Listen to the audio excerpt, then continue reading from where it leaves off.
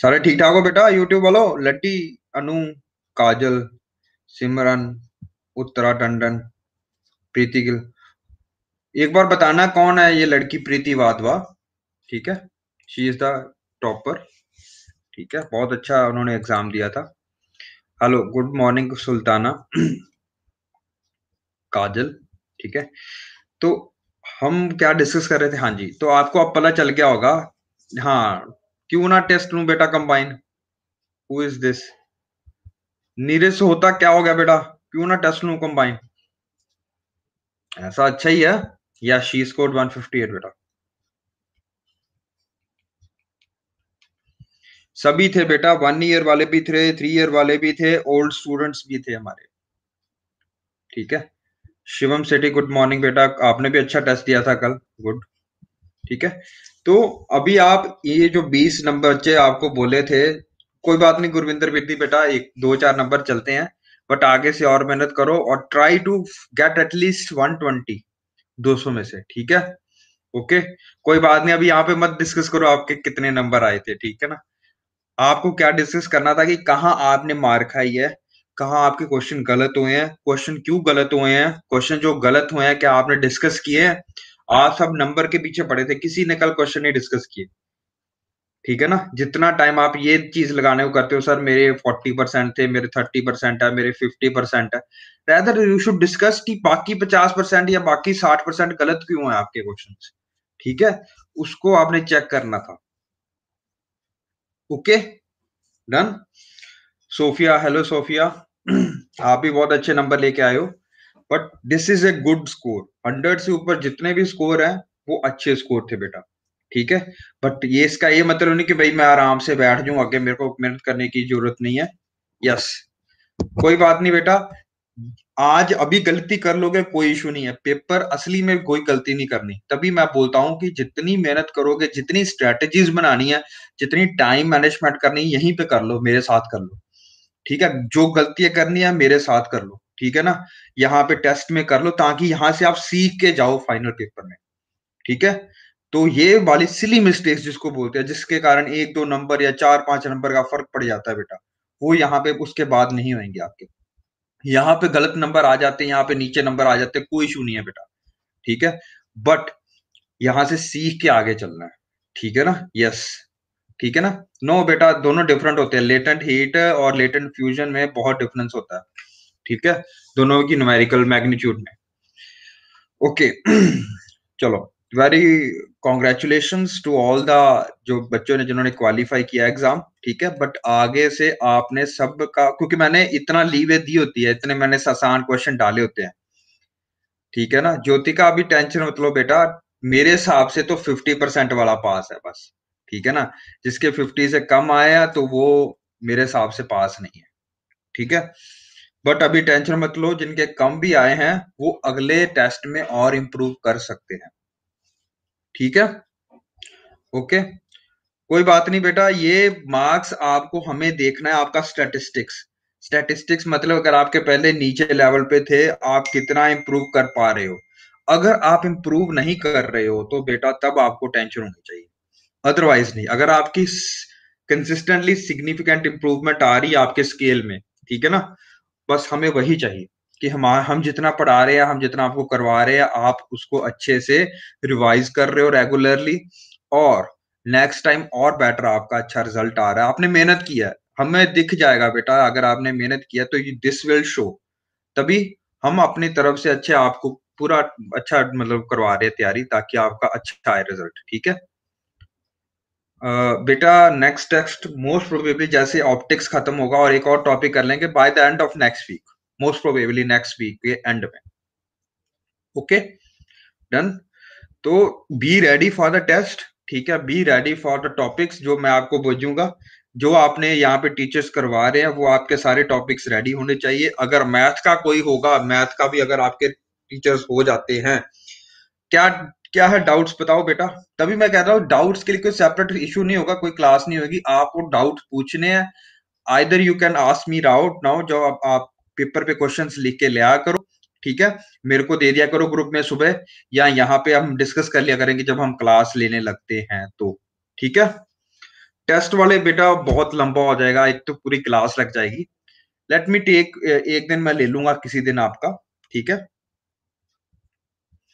नहीं बेटा hundred marks से ऊपर चाहिए मेरे को। पवन पाहुल प्रीत वी वांट कि आपकी improvement at least hundred percent मतलब फिफ्टी परसेंट से ऊपर हो हंड्रेड परसेंट है ना? बेटा latent heat of fusion different होती है और हीट का जो मैग्नीट्यूड होता है वो डिफरेंट होता है। दैट्स वेरी गुड पाहुल और थोड़ी मेहनत करो बेटा। You can do much much better okay क्या करना बेटा Vriddhi latent fusion latent of heat of fusion है, जो वो जो हीट है जब आपको आइस से कन्वर्ट करना है सॉलिड में but at the same temperature there is no heat extra temperature is required ठीक है ना? Extra heat is not needed from the environment तो आशिमा, अस्मिता हाँ जी अस्मिता, बोलिए। तो वो हीट जो हम बात करते हैं, उसका नाम है लेटेंट हीट और लेटेंट हीट फ्यूजन की वैल्यू थोड़ी कम होती है as compare to latent heat of vaporisation या हीट ऑफ़ यस लग गई समझ बेटा? तो आप इसको नेट में चेक कर लेना, दोनों की वैल्यू डिफरेंट होगी तो इक्वल वैल्यू नहीं होती है उनकी, ठीक है ना? ओके तो यही एक टॉपिक था, जो एक वो था, जो इसमें प्रॉब्लम थी बस। एक क्वेश्चन में प्रॉब्लम थी फोर्टी फोर बेटा, सबको दो दो नंबर एक्स्ट्रा मिले उसके, ठीक है? यस ज्योतिका इंग्लिश और हिंदी में ही फाइनल एग्ज़ाम आएगा, तभी मैंने इतना ज़्यादा टेंशन लेके आपको वो बना के दिया था हिंदी में भी। आई हैव ट्राइड बाकी मेरे पास लिमिटेशन थी बेटा, मैंने किए हुए थे सारा काम। किसी को एग्ज़ाम चाहिए होगा तो ही और शी कैन आस्क मी ठीक है? मैं उनको एग्ज़ाम दे दूँगा, ठीक है? हंड्रेड के हंड्रेड क्वेश्चन और हाँ आंसर शीट किसी को चाहिए होगी तो वो भी मांग सकते हो आप, ठीक है? यस गुड गुड बेटा। तो last time let's start now ठीक है? एवरीबॉडी यूट्यूब चलो स्टार्ट करते हैं अब।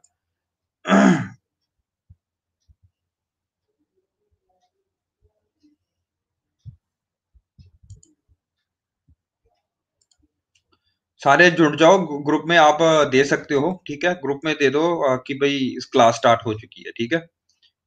हाँ जी ग्रुप में आप मांग लेना बेटा I will try to send ठीक है? ओके तो we have already done reflection हमने कहा था कि रिफ्लेक्शन क्या होती है? रिफ्लेक्शन यूजली टेक्स प्लेस ठीक है? इसके हमने तीनों लाज भी पढ़े थे कि भाई अगर कोई रेड कलर है, वो क्यों रेड है, वो ऑब्जॉर्व करता है या रिफ्लेक्ट करता है, दो चीज़ें हो सकती हैं। तो हमने बोला था कि जो चीज़ें रिफ्लेक्ट होती हैं, उसी के कारण उसका कलर आता है। कलर यूजली तीन तरह के होते हैं, हमने बोला था। कौन कौन से कलर होते हैं? तीन तरह के आर जी और बी रेड ग्रीन और ब्लू, ठीक है? तो ये तीन कलर के हमारे प्राइमरी कलर्स होते हैं। ठीक है? यस ठीक है? तो वो तीन कलर हमारे प्राइमरी कलर्स ही होते हैं। दे रिक्वायर और उसी से हमें पता चलता है कि भाई बाकी सेकेंडरी कलर्स कैसे कैसे बनेंगे। ठीक है? डन बेटा? चले आगे? ओके तो हमने ये लॉज ऑफ़ रिफ्लेक्शन भी पढ़ लिए थे। लास्ट क्लास में अगर आपको याद हो कि जैसे आप जितना इंसिडेंट रे आएगी, जिस एंगल पे आएगी, उसी एंगल से वे रिफ्लेक्ट होएगी। उसी एंगल से। मतलब ये जो एंगल ऑफ़ इंसिडेंस है, वो एंगल ऑफ़ रिफ्लेक्शन के इक्वल होगा। ठीक है जी? तो ये भी हम पढ़ के आए थे। ठीक है? तो हमने पढ़ा था कि ये और ये फ़र्स्ट लॉ होता है। सेकेंड लॉ क्या था कि अगर मैं इंसिडेंट रे और रिफ्लेक्टेड रे को देखूँ तो सेम प्लेन में लाई करेगा। यस सेम प्लेन का मतलब है, ये लाइट आगे से जाके बाहर नहीं गेंद, बाहर नहीं गिरेगी। ये जो गेंद है, वो यहाँ से टकरा के उसी एंगल से मुड़ जाएगी, ठीक है ना?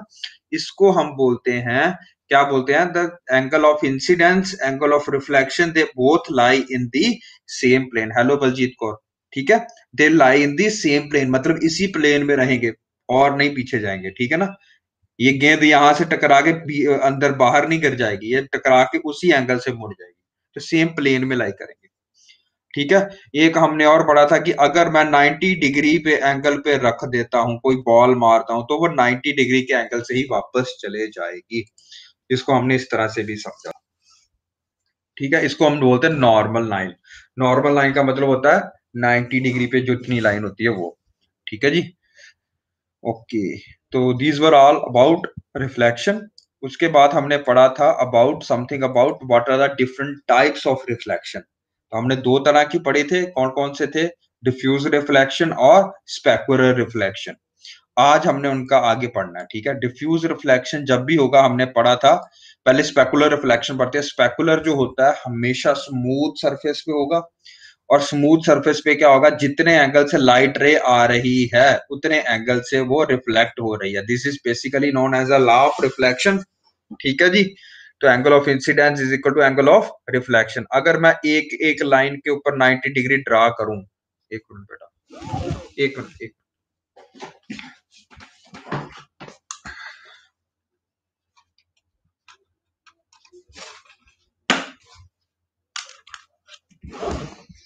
एक मिनट। ओके। तो अगर मैं 90 डिग्री ड्रा करता हूँ हर एक एंगल पे तो what is going to happen यहाँ पे अगर मैं 90 डिग्री ड्रा कर रहा हूँ हर एक एंगल पे, बड़ा ना, गंदा 90 डिग्री बना है। पर चलो 90 डिग्री ड्रा कर रहा हूँ हर एंगल पे तो यहाँ पे एंगल ऑफ़ इंसिडेंट होगा, वो एंगल ऑफ़ रिफ्लेक्शन के इक्वल हो जाएगा। ठीक है? क्यों? क्योंकि ये स्मूथ सरफेस से रिफ्लेक्ट हो रही है तो हम इसको बोलेंगे स्पेकुलर रिफ्लेक्शन जो डिफ्यूज सरफेस रिफ्लेक्शन है, वो रफ सरफेस से रिफ्लेक्ट होगी रफ सरफेस मतलब उबड़ खाबड़, ठीक है जी? तो उबड़ खाबड़ मतलब जैसे हमारी सड़कें होती हैं, उबड़ खाबड़, ठीक है ना? तो क्या होता है कि जब उससे रिफ्लेक्ट करती है लाइट तो बिखर जाती है। बिखर जाती मतलब स्प्रेड आउट हो जाती है। क्यों? क्योंकि इसका हर एक डिग्री पे एंगल चेंज हो रहा है। तो हम इसको बोलेंगे कि angle of reflection is equal not equal to angle of sorry angle of reflection जो है इंसिडेंस है, वो रिफ्लेक्शन के होगा इक्वल बट हर एक एंगल पे एंगल चेंज हो रहा है। तो हर जगह पे जो है पिक्चर की क्वालिटी अच्छी नहीं आएगी। चले आगे? ठीक है? तो आपने ये चीज़ें देख के, ये क्वेश्चन आपको क्वेश्चन कभी पूछा जा सकता है कि there is a relative difficulty of night driving out a wet asphalt roadway compare to dry asphalt roadway इसका क्या मतलब होता है? एसफॉल्ट होता है जो लुक लुक नहीं पड़ती। ज़मीन के ऊपर हम लुक डालते हैं ताकि वो सड़क बनी रहे वहाँ पे। है ना? तो तो वहाँ पे अगर हम नॉर्मल दिनों पे चल रहे हैं, अगर हम नॉर्मल दिनों पे चल रहे हो, वहाँ अच्छे से दिखाई देता है हमें रोड है ना? बट किसी दिन अगर बारिश पड़ी हो वहाँ पे तो बारिश पड़ने के कारण क्या होता है कि एकदम से आँखों में चकाचौंध सी पड़ती है आपके, ठीक है ना? वो क्यों पड़ती है बेटा? That is the result of which kind of reflection specular reflection specular reflection क्यों हमने बोला इसको? क्यों? क्योंकि वैसे अगर रोड देखें तो रोड के जो होता है ड्यू टू क्या होता है, उसमें ऊपर खाबड़ सी लाइटें होती हैं, ऊपर खाबड़ सी जगह होती है तो नॉर्मली वहाँ पे क्या होता है डिफ्यूज रिफ्लेक्शन ठीक है? नॉर्मल दिनों में। बट क्या होता है, जब पानी खड़ा हो जाता है और हमारे यहाँ पे सड़कों पे बहुत पानी खड़ा होता है मानसून में खास करके तो क्या होता है कि वो, ये जो उबड़ खाबड़ रास्ता है, वहाँ पे वो सीधा एक पानी की सतह जम जाएगी ठीक है? और पानी की सतह कौन सी होती है? स्मूथ होती है तो वहाँ पे आपके स्पेकुलर रिफ्लेक्शन हो जाएगी। स्पेकुलर रिफ्लेक्शन जब होगी तो एकदम से आपको चकाचौंध दिखेगी। ये देखो, दिख रहा है आपको? आपने जहाज़ देखा कि ये लाइट आ रही है, ये आ रहा क्या कहते हैं? नदी आ रही है कोई ऐसे करके, जहाज़ से देख रहे हो उसको? और ये एकदम से देखो, यहाँ पे क्या हो रहा है? यहाँ पे चकाचौंध सी नहीं लग रही आपको? ठीक है ना? क्यों? क्योंकि this is due to focus of light या स्पेकुलर रिफ्लेक्शन डन बेटा? ये देखो what is going around here specular reflection यहाँ पे भी स्पेकुलर यहाँ पे भी स्पेकुलर सारी स्पेकुलर रिफ्लेक्शन है। ठीक है ना? Are you getting my point okay done okay now आगे चलते हैं हम। एक क्वेश्चन और आता था पेपर में। Many people have witness a person और have a seen a photograph of beautiful nature scenery captured by a photographer who sets up the shot with a calm body of water in the foreground. ठीक है? तो अगर calm body of water in the background है, कैसे? अब मैं अगर इस पिक्चर को देखूँ, ध्यान से देखो। काम बॉडी ऑफ़ वाटर है, बिल्कुल पानी के ऊपर कोई चल नहीं रहा, ठीक है ना? तो पानी एक मिरर की तरह एक्ट कर रहा है। तो क्या हो रहा है कि जैसे इसकी फ़ोटो है उसी की तरह उसका प्रतिबिंब जो रिफ्लेक्शन रिफ्लेक्शन है, देखो मेरे को आ गई हिंदी बोलते बोलते, प्रतिबिंब जो उसका है, जो उसकी रिफ्लेक्शन है, उसकी बिल्कुल साफ़ तरीके से कितनी अच्छी दिखाई दे रही है ठीक है ना? बट और this is due to which reflection ठीक है?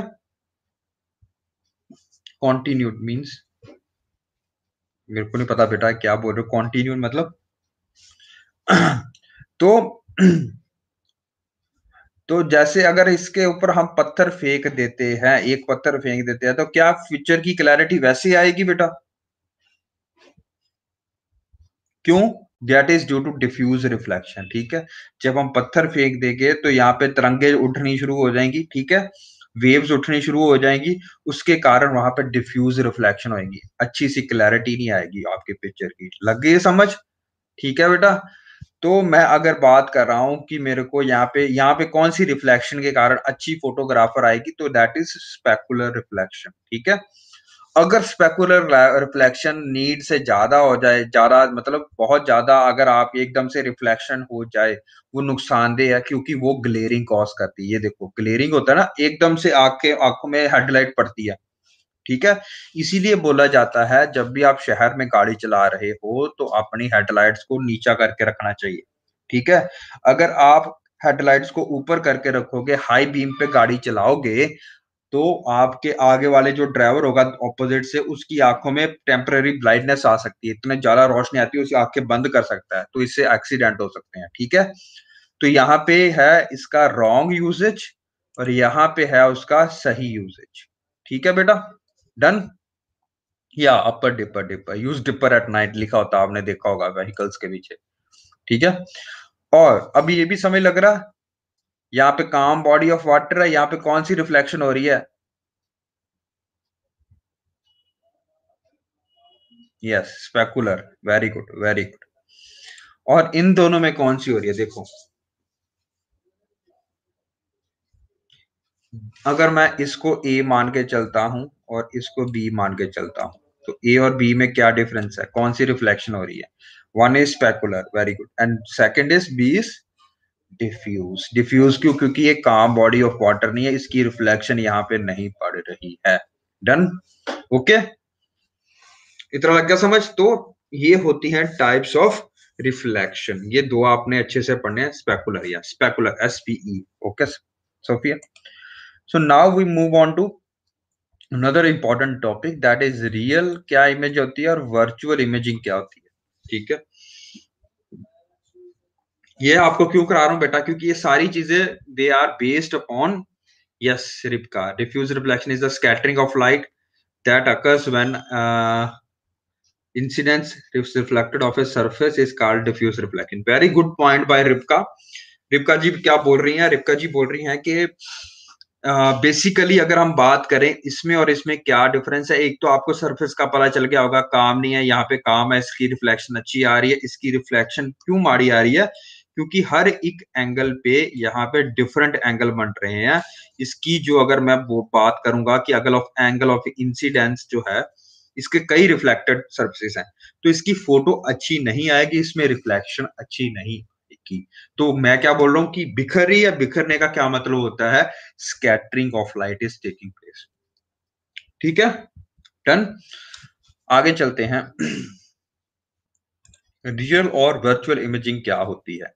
रियल इमेज मतलब क्या मतलब होता है कि real is is made from the real light rays that converge at a focal point और दैट इमेज इज़ रियल ठीक है? तो अगर एक सच में लाइट रे जो है, वो एक ऑब्जेक्ट से होके आ रही है और उसका प्रतिबिंब हम देख रहे हैं, एक स्क्रीन के ऊपर, एक दीवार के ऊपर तो हम उसको बोलेंगे रियल इमेज ठीक है? And it can be projected on to a screen अगर मैंने यहाँ दीवार में पर्दा लगाया होगा तो उसकी लाइट रे वहाँ पे कन्वर्ज होएगी और वहाँ पे क्या है? प्रतिबिंब डालेंगी उसका। उसको रिफ्लेक्टेड इमेज बनाएगी पे ठीक है बेटा? तो इसको हम बोलेंगे रियल इमेज रियल इमेज का मतलब अभी आपको समझ आ जाएगा टेंशन मत लो। एक ध्यान, एक बार मैं भी बताता हूँ बेटा। एक ध्यान में चीज़ रखो कि ये ऑलवेज इन्वर्टेड इमेज होगी। पहली बात इन्वर्टेड इमेज होगी मतलब उल्टी बनेगी। अगर मैंने सीधी उंगली ऐसे किया तो पिक्चर मेरी में इस तरह से उंगली आएगी, उल्टी उंगली आएगी, ठीक है? दूसरी बात है कि ये कहाँ बनती है? ये दीवार पे बन सकती है, पर्दे पे आ सकती है, ये रियल इमेज है।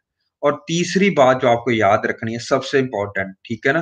कि कन्वर्ज करती है एक लाइट रे से, जो कि ऑब्जेक्ट से होके आ रही है। कैसे? अब अब बच्चों को समझ नहीं आ रहा तो let me show you with an experiment अगर मैं ये मोमबत्ती को प्रतिबिंब देख रहा हूँ, और मैंने इसके साथ में रखा है मिरर कोई भी मिरर है प्लेन मिरर डाल दो चाहे यहाँ पे, ठीक है ना? प्लेन मिरर नहीं, दूसरा कोई भी मिरर है कन्वेक्स कनकेव ठीक है?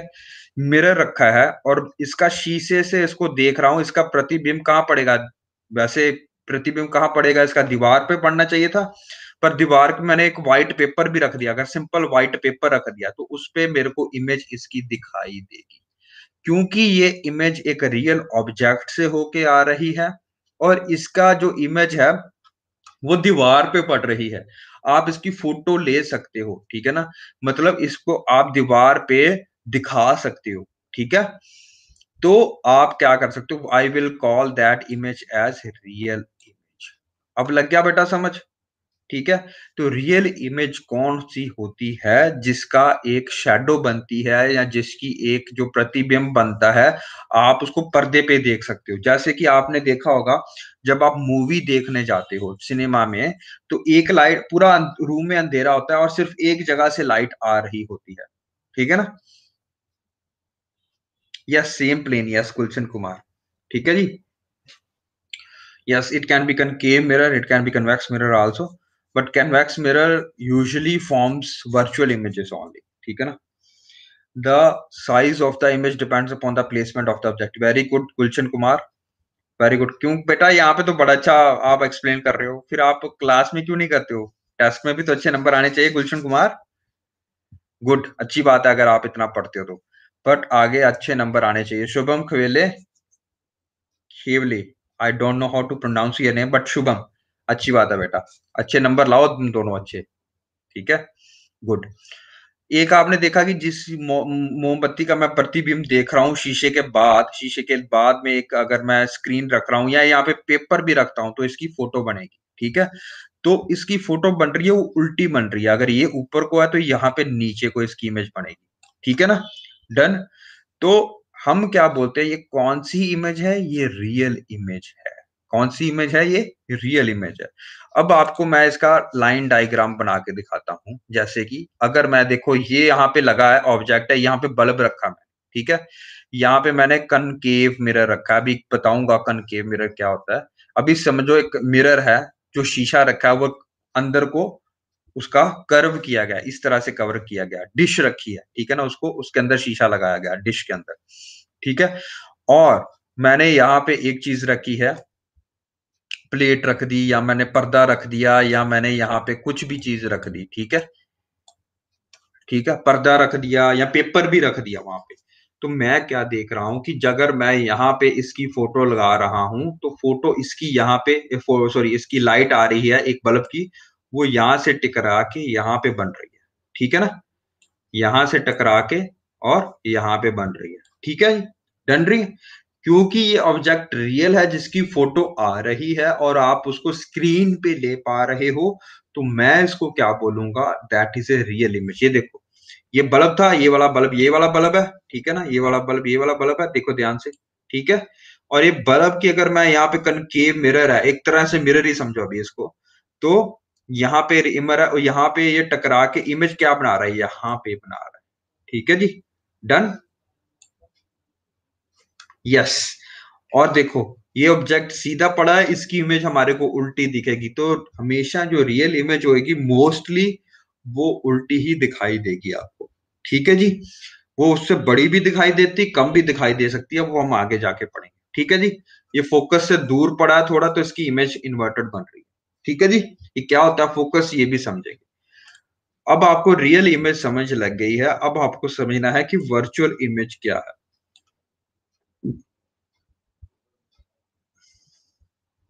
हाँ ठीक है ना? ऑपोजिट होगा। ठीक है very good Gulshan the image which can be obtained on the screen is known as real image तो यहाँ पे जो भी आपके सिनेमा हॉल्स में आप मूवियाँ देख रहे हो एक्टर एक्ट्रेसेस को देख रहे हो स्क्रीन पे they are basically example of real image ठीक है जी? रियल इमेज कैसे? ठीक है जी? बेटा देखो, इसको रिफ्लेक्ट होके जब लाइट जाएगी, जब हम उसको प्रतिबिंब देखेंगे, आप इसको ऐसे समझो। बेसिकली हम प्रोजेक्टर को जो पुराने प्रोजेक्टर आते थे ना, जब हम सिनेमा हॉल्स में जाते थे, उसको रील को हाथ से चलाना पड़ता था ऐसे करके। रील को। जब रील चलती थी तो बेसिकली आप इसको ऐसे समझो, आपने स्क्रीनशॉट्स लिए होंगे, है ना? स्क्रीनशॉट्स लिए होंगे, है ना? तो मैं अगर बोल रहा हूँ, मैं, आप, मैं बोलता हूँ, मेरे कंटिन्यूअस बर्स्ट में स्क्रीनशॉट ले लो। बर्स्ट में मैं अगर जैसे बोल रहा हूँ तो आप मेरी हैंड मूवमेंट भी साथ साथ में देखोगे। हर एक एंगल पे आप मेरी फ़ोटो खींच रहे हो, ठीक है?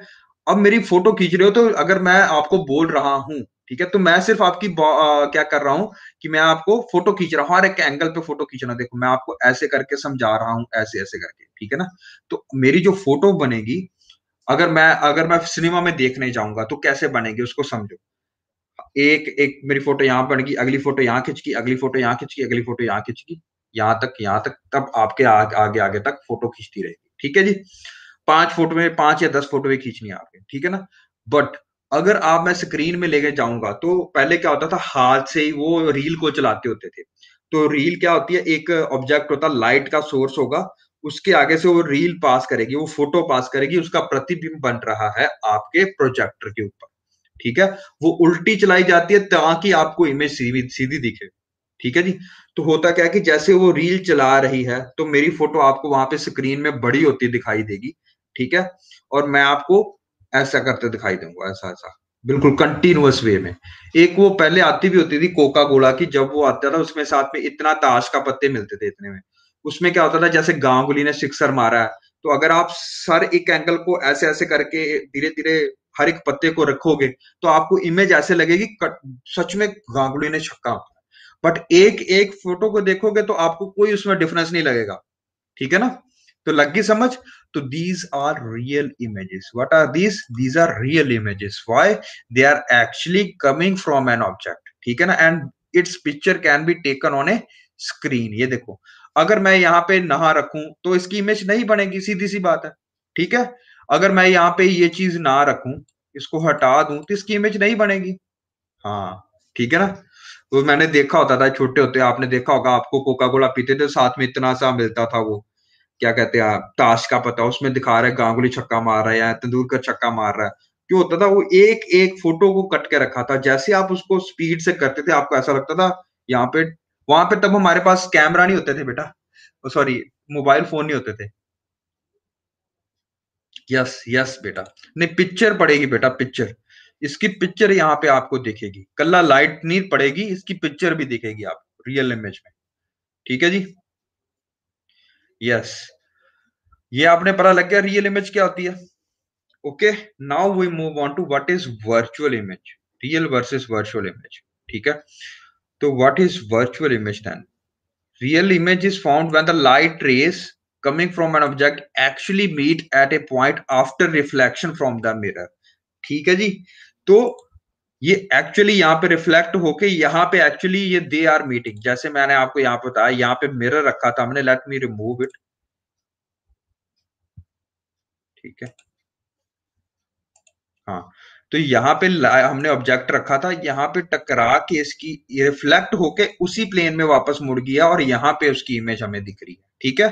डन ये बहुत इंपॉर्टेंट बहुत है। ये रिफ्लेक्टेड हुएँगी बेटा। ठीक है जी? डन लेकिन अगर मैं दूसरी बात करता हूँ वर्चुअल इमेजिंग की तो they are not real because they can not be projected ठीक है? इनको प्रोजेक्ट नहीं किया जा सकता बेटा। ठीक है? वहाँ पे इमेज है, उतनी देर तक इमेज रहेगी, जितनी देर तक वो ऑब्जेक्ट रहेगा। अगर वो चला जाते तो इमेज आप वहाँ पे ले नहीं पाओगे। ठीक है ना? Yes yes Shubham. तो अगर मैं ये देख रहा हूँ, एक एक लड़की अपनी वो देख रही है, फ़ोटो को देख रही है तो image which can not be obtained on the screen इसका मतलब समझो। तो इसका प्रतिबिंब इधर पड़ रहा है, ठीक है जी? इसका प्रतिबिंब इधर पड़ रहा है, पर एक्चुअली वहाँ पे इमेज आप इसकी फ़ोटो मतलब अगर आप देखो, सर, मैं तो फेस में आपकी फ़ोटो स्क्रीनशॉट ले सकता हूँ, अगर मैं शीशे में देखूँ। उसको नहीं बोलते बेटा, हम बोलेंगे कि यहाँ पे अगर आप पर्दा रखो, इसके पीछे शीशे के पीछे। क्या आपकी फ़ोटो पड़ेगी? आपको दिखेगा फ़ोटो में? नहीं दिखेगा ना? तो इसी को हम बोलते हैं वर्चुअल इमेज ठीक है जी? वर्चुअल इमेज कौन सी होती है? They can on can not be taken on a screen screen पे नहीं ली जा सकती। जैसे मैंने यहाँ पे एक पर्दा रखा था या यहाँ पे पेपर रखा था तो इसकी रिफ्लेक्शन यहाँ पे पड़ती थी बेटा। ठीक है? अगर मैं एक प्लेन मिरर में देख रहा हूँ जो घर में शीशा पड़ा होता है, उसमें देख रहा हूँ तो उसमें आप इमेज देख पाओगे बट क्या होगा, उसको स्क्रीन पे नहीं ले पाओगे। वेरी गुड गुलशन ठीक है? ठीक है जी? गुलशन एक बहुत अच्छी बात बोली, हम इसको और आगे लेके जाएँगे। पर इतना समझ लो, ये वर्चुअल है। वर्चुअल मतलब उसी प्लेन के दूसरी तरफ़ बन रही है। कैसे बन रही है, मैं अभी बताता हूँ आपको। जैसे कि अगर मैं देखूँ यहाँ पे। ये दिख रहा आपको पिक्चर आप ये देख रहे हो एक बंद, एक एक ऑब्जेक्ट ये जो क्या होता है? घोड़ा बोलते हैं इसको क्या बोलते हैं? जो चेस का एक पीस होता है एक प्यादा होता है। तो प्यादे की अगर मैं पिक्चर को देख रहा हूँ उसको मैं एक मिरर के आगे रखा है ये मिरर है। जिस टाइम ये मैं यहाँ पे ऐसे ऐसे कर देता हूँ इसका मतलब होता है कि वो पोलिस्ड सरफेस नहीं है वो पेंटेड सरफेस है। हाथी हाथी यस तो इसकी फ़ोटो देख रहा हूँ तो मेरे को एक चीज़ दिखेगी कि मेरे को फ़ोटो अगर मैं इसकी देख रहा हूँ तो इस तरफ़ बनती है फ़ोटो ठीक है? लॉ ऑफ़ रिफ्लेक्शन क्या कहता है? Angle of incident should be angle of reflection तो मेरे को ये फ़ोटो सीधी दिखनी चाहिए थी रिफ्लेक्ट होके नहीं दिखनी चाहिए थी बट मेरे को जब मैं शीशे में देखता हूँ, मेरे को शीशे में दिखती है इसकी इमेज ऐसे करके। ठीक है? तो वर्चुअली क्या का मतलब होता है? If the rays were coming from behind the mirror तो आपको अगर हम सीधा देख पाते हैं तो ध्यान से देखो। लॉ ऑफ़ रिफ्लेक्शन क्या कहता है कि अगर मैं इस फ़ोन को देख रहा हूँ तो इससे मेरी तरफ़ आँखें में कोई इमेज आ रही है और मैं उसको देख रहा हूँ, ठीक है ना? But yes yes yes very good Pallavi. तो बट इसका बात क्या है अभी? देखो, ध्यान से समझ लो इसको।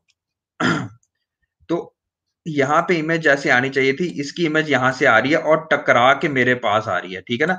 बट इसकी इमेज बन कहाँ रही है? शीशे के पीछे बन रही है। ये ध्यान रखो अपना, शीशे के पीछे बन रही है, ठीक है जी?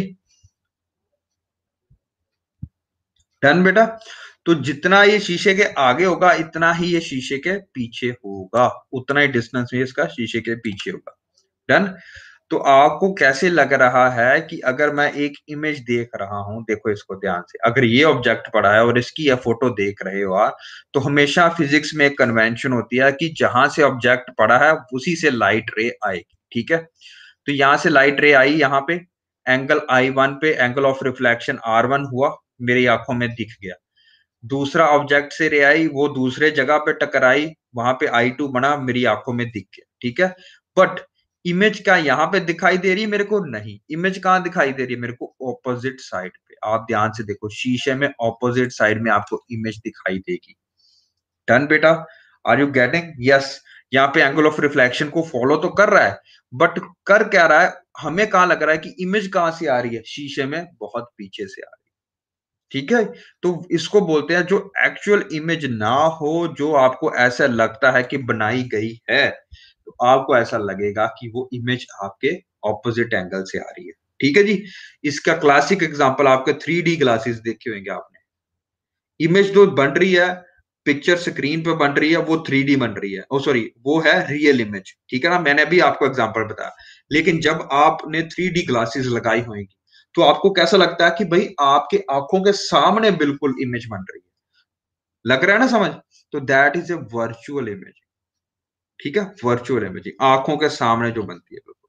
ठीक है जी?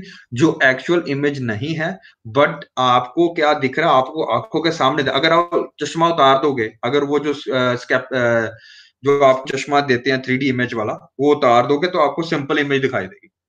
समर थोड़ी सी धुंधली देखेगी क्योंकि उसको इस तरह से अल्टर किया जाता है ताकि आपके आँखों में वो थ्री इमेज बना सके। Done everybody got this okay? हाँ। तो दूसरी बात जो आपको याद रखनी है, इसको बोला जाता है कि वर्चुअल इमेज जो बोला जाता है, जो स्क्रीन पे नहीं ले जा सकती, जहाँ से अगर आप जो मोस्टली मिरर की प्लेन मिरर की इमेज होगी वो वर्चुअल इन नेचर होगी ठीक है जी? दूसरी बात जो हमें याद रखनी है, वो ये है कि जब भी हम शीशे के आगे कुछ रखेंगे, ठीक है ना? प्लेन मिरर के आगे रखेंगे।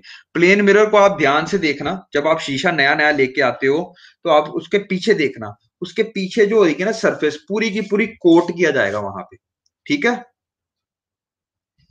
यस बेटा गुलशन, अभी हम वहीं जा रहे हैं। अभी हम प्लेन मिरर्स में हैं पहले। प्लेन मिरर्स को खत्म कर लें। Yes Shubham very good okay तो पीछे वाली सर्विस पॉलिश की जाती है। अगर पीछे वाली सर्विस पॉलिश ना हो तो हम कुछ देख नहीं पाएँगे बेटा। ठीक है ना? समझ रहे हो? पीछे वाली सर्विस पॉलिश की जाती है ताकि आगे वाली सिल्वर जो है, वो रिफ्लेक्ट कर सके। प्रॉपर रिफ्लेक्टिंग सर्विस बन सके वहाँ से। ठीक है? एक चीज़ आपने ध्यान रखनी है और आप इसको घर में भी एक्सपेरिमेंट करके देख सकते हो कि जब भी मैं कोई ऑब्जेक्ट रखूँगा शीशे के सामने, उसका जो प्रतिबिंब पड़ेगा, वो शीशे से उतनी दूरी पे होगा जितना कि वो आगे है। इसका मतलब समझो। जैसे मैं यहाँ पे एग्जांपल दे रहा था आपको कि इसका जो इतना इतना डिस्टेंस है let me show in different colour ये ऑब्जेक्ट का प्लेन मिरर से जितना डिस्टेंस होगा, इसकी शेडो का भी उससे उतना ही डिस्टेंस होगा। ये समय लग रहा बेटा? ठीक है? हाँ ट्रांसपेरेंट होगा, नहीं तो वेरी गुड सोफिया ठीक है डिस्टेंस सेम होगा, ठीक है नहीं तो अगर ये डिस्टेंस फाइव मीटर है तो ये भी डिस्टेंस फाइव मीटर ही होगा। डन बेटा? Are you getting my point ठीक है? तो इसी को बोला जाता है वर्चुअल इमेज जब हम बनाते हैं, ठीक है? Image on the form by the plane mirrors is virtual and erect ये ध्यान रखो। वर्चुअल मतलब क्या? वो पर्दे के दूसरी तरफ़ बन रही है वो शीशे के दूसरी तरफ़ बन रही है सोचो ठीक है ना? और वो रियल नहीं है ठीक है ना? रियल कब होएगी? जब रिफ्लेक्ट होके अगर मैं बताता हूँ अगर मैं बोलता कि ये शीशा ट्रांसपेरेंट होता तो इसके बाहर मेरी यहाँ पे मैं अगर वो लेके जाता क्या कहते हैं? क्या बोलते हैं उसको? आ, पेपर लेके जाता या स्क्रीन लेके जाता ठीक है? यहाँ पे स्क्रीन यहाँ पे नहीं सॉरी यहाँ पे नहीं यहाँ पे स्क्रीन रखता। तो रिफ्लेक्ट होके यहाँ पे फ़ोटो बननी चाहिए थी इसकी, उल्टी। ठीक है ना? वो नहीं बनी। हमने क्या कर दिया? यहाँ पे इसका पिछला जो जगह है, उसको अच्छे से पेंट कर दिया और आगे सिल्वर डाल दिया। तो उससे रिफ्लेक्ट होगी। पिक्चर कहाँ बन रही है अब? यहाँ पे बन रही है। ठीक है? तो इसका मतलब वर्चुअल इमेज है। इसको आप स्क्रीन पे नहीं लेके आ सकते हो प्रोजेक्टर पे नहीं लेके आ सकते हो। ठीक है? डन बेटा? ओके अब इसको एक चीज़ और समझने वाली है यहाँ पे। लेट मी शो यू दोनों बन जाएगी बेटा, अभी करा देते हैं। टेंशन क्यों ले रहे हो यार? अभी क्यों करना है तुम्हें सब कुछ? अभी कौन के मिरर करना है कन्वेक्स मिरर करना है। टेंशन मत लो, आएगा सब कुछ। आएगा, तुम्हारा क्वेश्चन भी आएगा। ओके तो वर्चुअल इमेज समझ लग बेटा। मिरर के जो दूसरी तरफ़ बन रही है, उसका प्रतिबिंब बन रहा है। जितना इसका डिस्टेंस यहाँ से होएगा मिरर से उतना ही डिस्टेंस इसका इधर से होगा। ठीक है? इरेक्ट का मीनिंग यस गुड ये क्वेश्चन अच्छा है। इरेक्ट का मीनिंग का होगा मतलब इरेक्ट का मतलब बिल्कुल सीधी बनेगी। हम रियल इमेज देख के आए थे, उल्टी बन रही थी ना, अगर मैंने उंगली ऐसे किया तो उल्टा उसका प्रतिबिंब कैसा बन रहा था? उल्टा बन रहा था।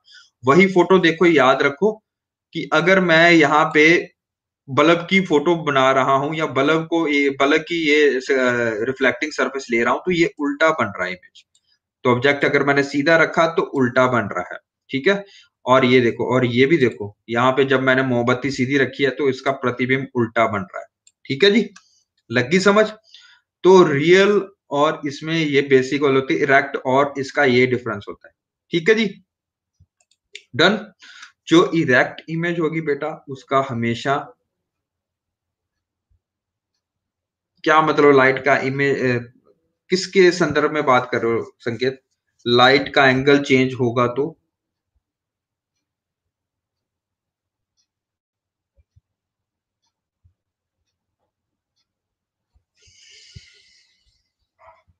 yes yes yes Rebecca I I completely agree with you ठीक है, और ये समय लग गया बेटा।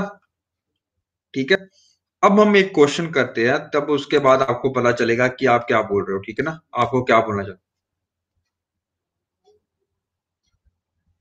हाँ तो सेम डिस्टेंस ही होगा बेटा। जितना इमेज के मैं पीछे जाऊँगा, उतना इमेज मेरे पीछे इमेज जो होएगी वो मिरर के पीछे होएगी, ठीक है ना? जितना मैं आगे जाऊँगा इमेज मेरी उतना आगे आएगी। ठीक है? ये समझ रहे हो? अब ध्यान से देखो इसको। अगर मैं अपनी फ़ोटो देखूँगा एक शीशे में तो कई बार क्वेश्चन पूछा जाता है कि शीशा कितना होना चाहिए ताकि मेरा पूरा प्रतिबिंब बने उसमें। ठीक है? नहीं बेटा, नहीं रहेगी वृद्धि जी। नहीं नहीं नहीं रहेगी। बट ये रिफ्लेक्ट होके आ रहा है और ये देखो आप पर्दे पे लिखोगे ना, इस इमेज को आप पर्दे पे ले सकते हो, ठीक है ना? अगर ऑब्जेक्टिव बंद कर दोगे, अगर लाइट बंद कर दोगे तो फिर तो कहीं पे भी नहीं बनेगी बेटा, समझ रहे हो? अगर आप शीशे में देखना चाह रहे हो अपने आप को और लाइट ही नहीं कहीं पे है तो रिफ्लेक्ट ही क्या होगा? तो ऑब्जेक्ट तो नेसेसरी है ना? और लाइट भी नेसेसरी है, दोनों चीज़ें नेसेसरी है, ठीक है? ये ये तो बेसिक्स है बेटा, ठीक है? चलो आगे। एक ये क्वेश्चन हम डिस्कस कर रहे थे, कितनी हाइट का मिरर होना चाहिए ताकि हमारी प्रॉपर पूरी इमेज बने? तो ये ऑलरेडी आपको पता होना चाहिए कि mirror only needs to be half the height as you are tall तो अगर मैं छह फुट का हूँ तो कम से कम मिरर मेरे को तीन फुट का चाहिए होगा ताकि मेरी प्रॉपर इमेज पूरी इमेज बन सके। ठीक है? Done half of our height ये समझ लग गया आपको। Now before we moving ahead let's do a little bit of test कुछ क्वेश्चन डालूँगा मैं आपको। चलो, करो आंसर इनका। दो क्वेश्चन डाले मैंने आपको, जो इस पे मोस्टली बनते होते हैं। दोनों क्वेश्चन के आंसर देखो, आपके सामने आए होंगे।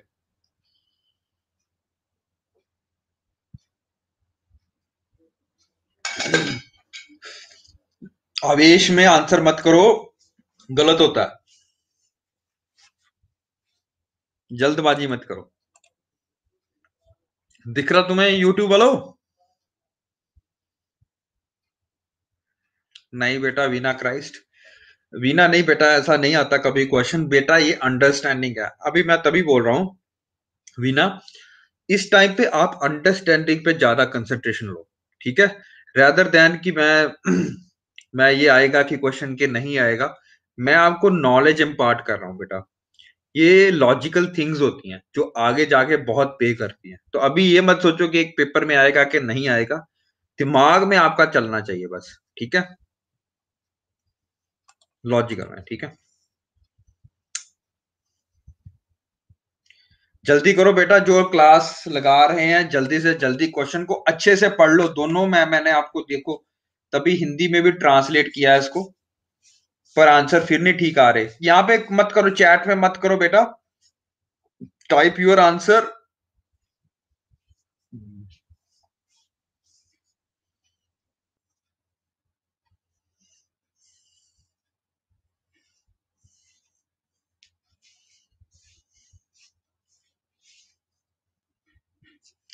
डिस्टेंस ढूंढ ढूंढना है बेटा आपको, ठीक है? बहुत कम लोग हैं जिन्होंने अभी भी आंसर सही किया है।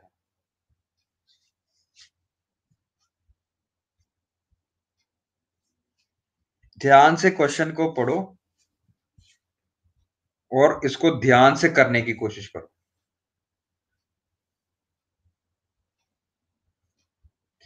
मनजिंदर कौर जी, आपको दिया गया है, आप उस, उसको वहाँ पे क्लिक करो, ठीक है? ऑनलाइन पे। ऑप्शन दिया गया ए बी सी डी उस पर क्लिक करो। सेंड करो, नीचे देखो एंड में लिखा होगा सेंड द क्वेश्चन ठीक है ना? हाँ दो क्वेश्चन है बेटा, नीचे वाला भी क्वेश्चन है, वो भी चेक कर लो, ये देख लो, ये क्वेश्चन है सेकंड वाला।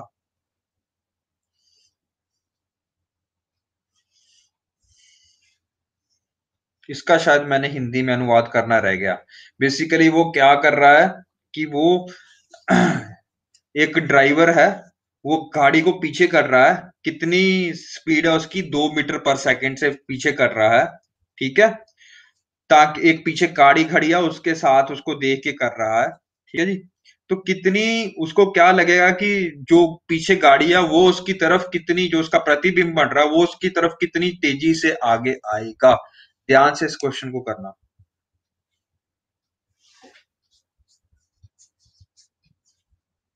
नहीं आएगा अरविंद बेटा, ये मेरे लिए बस। मेरे को दिख रहा है कि कौन लोग सही कर रहे हैं, कौन लोग गलत कर रहे हैं। यूट्यूब वाला दिख रहा है question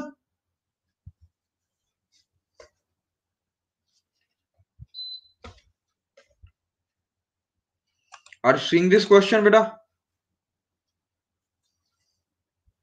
गुड यूट्यूब वालों आंसर सही करो बेटा। काफ़ी लोगों के गलत आ रहे हैं आंसर चलो चलो चलो। गुड गुड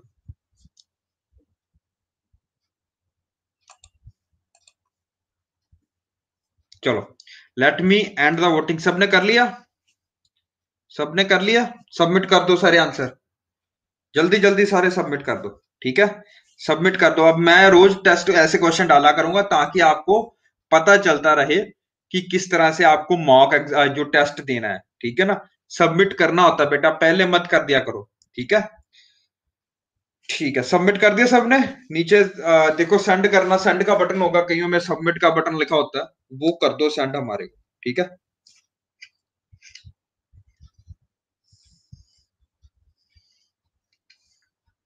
रिबिका यहाँ मत लिखो बेटा तभी मैंने कहा वहाँ सबमिट करो आप। यस यस यस चलो। चलो let me end the voting let me close it ठीक है? चलो, अब हम इस क्वेश्चन को सॉल्व करते लिखो, मैंने कहा, लिखा होगा ये क्वेश्चन यस ये वाला। तो क्वेश्चन फ़र्स्ट जो था, उसका आंसर है सिक्स मीटर ठीक है जी? यस ये इसका रिज़ल्ट है। रिज़ल्ट रहने दो बेटा। रिज़ल्ट ये सिर्फ़ पोल था। मेरे को पता चलने के लिए आपकी कितनी अंडरस्टैंडिंग हो रही है। ठीक है ना? तो मैंने क्या बोला कि डेविड जो है डेविड जो ऑब्जेक्ट है, ठीक है, एक बंदा है, वो चार मीटर दूर खड़ा है एक प्लेन मिरर से। उसका प्रतिबिंब कितनी दूर बनेगा? चार मीटर दूर ही बनेगा। ये तो सबको पता है, ये क्वेश्चन में दिया गया अब वो नेक्स्ट क्वेश्चन में बोलता है नेक्स्ट स्टेटमेंट में बोलता है कि वो एक मीटर आगे आता है। जब वो एक मीटर आगे आता है तो उसका प्रतिबिंब भी एक मीटर आगे आ जाएगा। ठीक है? तो दोनों में कितना डिफरेंस था पहले? चार यहाँ चार यहाँ, आठ मीटर का डिफरेंस था। ठीक है? अब वो क्वेश्चन में पूछ रहा है, दोनों में कितना डिफरेंस बाकी बचा? अगर वो एक मिनट इधर से आगे, एक मीटर इधर से आ गया तो एक मीटर इधर से भी तो आगे आ जाएगा। ठीक है ना? तो दोनों के बीच अब कितना डिफरेंस रह गया? तीन यहाँ और तीन यहाँ। तो आंसर वास नॉट ये देखो मैंने क्वेश्चन में क्या पूछा था? तीन प्लस तीन, छह आएगा आंसर क्योंकि मैंने क्वेश्चन में आपसे पूछा था कि दोनों के इमेज में इमेज में और डेविड में कितना डिफरेंस है। अगर मैंने पूछा, यहाँ पे क्वेश्चन पूछा होता कि वो शीशे से कितना दूर है इमेज ठीक है ना? तब आपका आंसर थ्री मीटर बिल्कुल ठीक था। लेकिन मैंने क्या पूछा? ऑब्जेक्ट और इमेज में कितना डिफरेंस है, ठीक है? तो ये ध्यान से क्वेश्चन तभी मैं बोलता हूँ ध्यान से क्वेश्चन को समझा करो। बहुत आसान होता है क्वेश्चन बट हम उसको क्या करते हैं कि इसको ऐसे ही डिफ़िकल्ट बना देते हैं। समझ रहे हो? ओके उसी तरह जो सेकंड क्वेश्चन था बेटा, उसमें मैंने बोला था कि भाई, इसको थोड़ा सा रिमूव करना दो। वो समझ आ रहा है बेटा सबको? बेटा गुलशन दोबारा रिफ्रेश कर लो, हो जाएगी, ठीक है? ये इमेज दिख रही है ना सबको? Okay okay okay, good. अब हमने देखा कि भाई सेकंड क्वेश्चन था कि एक गाड़ी है हमारे पास। ठीक है जी? गाड़ी पीछे को जा रही है, इस तरफ़ को जा रही है गाड़ी, ठीक है? बैक साइड कर रहा है, यहाँ पे एक और गाड़ी है जो खड़ी है वहाँ पे, ठीक है? ये अपनी बैक साइड के मिरर से इसको तरफ़ देख रहा है बैक कर रहा है ये गाड़ी को और इसकी गाड़ी को देख रहा है। तो ये गाड़ी अगर दो मीटर पर सेकेंड स्पीड से जा रही है, ठीक है? ठीक है? तो इमेज उसको उसकी तरफ़ कितनी स्पीड से आती दिखाई देगी? डबल हो जाती है, ये याद रखना आपको, ठीक है ना? क्या मतलब है? In the plane mirror the object and the image always remain at the same distance from the mirror so when the car reverses the image will also remove to move ठीक है ना? उसी की तरफ़ दो मीटर पर second से move करेगी और मैंने आपको बताया जब दो ऑब्जेक्ट ऑपोजिट स्पीड में मूव करते हैं, ऑपोजिट डायरेक्शन में मूव करते हैं, ठीक है ना? तो हमेशा उनकी वेलोसिटीज ऐड हो जाती है, ठीक है ना? तो मैं ये ने आपको क्वेश्चन कब करवाया था याद है मेरे को? जब मैंने करवाया था कि एक गाड़ी आगे से 60 किलोमीटर से इधर की तरफ़ जा रही है, ठीक है? दूसरी गाड़ी लेट मी शो यू दूसरी गाड़ी दूसरी तरफ़ से आ रही है वो कितने से आ रही है? सौ मीटर से आ रही है। तो आपको ऐसा नहीं लगता कि कंबाइंड स्पीड जल्दी आ जाती है? वो इतनी दूर से आ रही है और सीधी आके टकराती है। इसीलिए जो फ्रंट ऑन कलिजन होती है, जो सीधी सीधी कलिजन सीधी ऐसे करके टकराती है, वो बहुत ज़्यादा डेंजरस होती है बेटा। उससे बहुत ज़्यादा नुकसान होता है। ठीक है? कोई बात नहीं बेटा। दिस इज़ अंडरस्टैंडिंग ये नंबर काउंट नहीं होंगे अब यही आप बता दो आप ये सिर्फ़ आपकी अंडरस्टैंडिंग के लिए बेटा। ताकि आपको पेपर में डिफ़िकल्ट ना लगे, ये जो आपको फॉर्मेट मैं करवा रहा हूँ, ठीक है? प्रीति वाधवा जी का मैसेज आ गया जी very good Preeti Wadhwa okay तो अब समय लग रहा है तो स्पीड जो आएगी ऐड हो जाएगी। तो इस सब्जेक्ट को एक देखने वाले को क्या लगेगा कि दोनों की स्पीड इतनी ज़्यादा तेज थी ना, क्या बात है। एक, अगर ये भी सौ पे आ रही है, ये भी सौ पे आ रही है तो 200 की स्पीड से एक्सीडेंट होगा, ठीक है? ओके जी। डन बेटा। पिक नहीं आ रही। मेरी पिक क्या करनी बेटा आपने? ठीक है। आपको ये वाली पिक आनी चाहिए। प्रेजेंटेशन वाली चाहिए बस। लग गया बेटा समझ? तो we have done plane mirror इसकी हमने पढ़ लिया कि ये कितने कितने एंगल से चेंज होता है। इसके दो क्वेश्चन आते हैं। वो हमने वो कर लिए सारे के सारे क्वेश्चन कर लिए हमने। बस ये क्वेश्चन ध्यान रखना कि वो क्वेश्चन में पूछा कहाँ से गया है। ठीक है जी? ठीक है बेटा Gurvinder Bedi I will try की मॉक क्वेश्चंस मैं रोज ऐसे कुछ ना कुछ टॉपिक के रिलेटेड दो चार क्वेश्चन रोज लेके आया करूँ। ठीक है गुरविंदर बेदी गुड सजेशन बेटा। तो एक आपने ये भी चीज़ देखी होगी। लेफ़्ट राइट मिरर इमेजेस जिसको बोलते हैं। ठीक है? ये मैथ का भी आपका हिस्सा है, याद है? मैथ में पूछा जाता है, अगर मैं इस तरफ़ को हाथ खड़ा करूँ तो शीशे में मेरा जो प्रतिबिंब बन रहा है, उसका राइट हैंड अगर मेरा राइट हैंड खड़ा हुआ, उसका लेफ़्ट हैंड खड़ा होगा। ठीक है ना? और एंबुलेंस में अगर आपने देखा हो तो हमें देखने में वो एंबुलेंस इस तरह से लगता है। लेकिन अगर आप अपने शीशे से देखो उसको तो उसका सही प्रतिबिंब आपकी तरफ़ पड़ेगा, सीधा प्रतिबिंब पड़ेगा आपकी तरफ़। उस पर लिखा होता है एंबुलेंस इसीलिए क्योंकि जब भी हम इमेज लिखते हैं, उसका उल्टा प्रतिबिंब, उसका उल्टा इफ़ेक्ट आपके इमेज में पड़ता है। ठीक है जी? डन तो इसका नाम हमने दिया है लेटरल इन्वर्शन क्या नाम दिया हमने उसका? लेटरल इन्वर्शन ठीक है? वही अगर मैंने लेफ़्ट हैंड किया तो मेरा इमेज में मेरा राइट हैंड बिल्कुल उल्टा जो है, वो खड़ा होगा, ठीक है ना? हाथ। चलो जी, ये भी हो गया। नाउ ये बहुत इंपॉर्टेंट टॉपिक है, इसको ध्यान से समझना बेटा, क्योंकि हमने तीन मिरर्स पढ़ने हैं आज ही। ये सबसे पहला मिरर हमने पढ़ लिया प्लेन मिरर प्लेन मिरर समझ गया जो शीशे की बात कर रहे हैं। अगर मैं खिड़कियों में शीशा लगाया, क्या वो प्लेन मिरर माना जाएगा? नहीं। समझ रहे हो? जो घर में आपके शीशे लगे होते हैं, जो विंडो पेन लगे होते हैं, वो नहीं, वो ग्लास है। समझ रहे हो? मिरर इज़ समथिंग अलग, जो आप, जिसमें आप अपनी तस्वीर देखते हो, उसको बोलते हैं प्लेन मिरर ठीक है जी?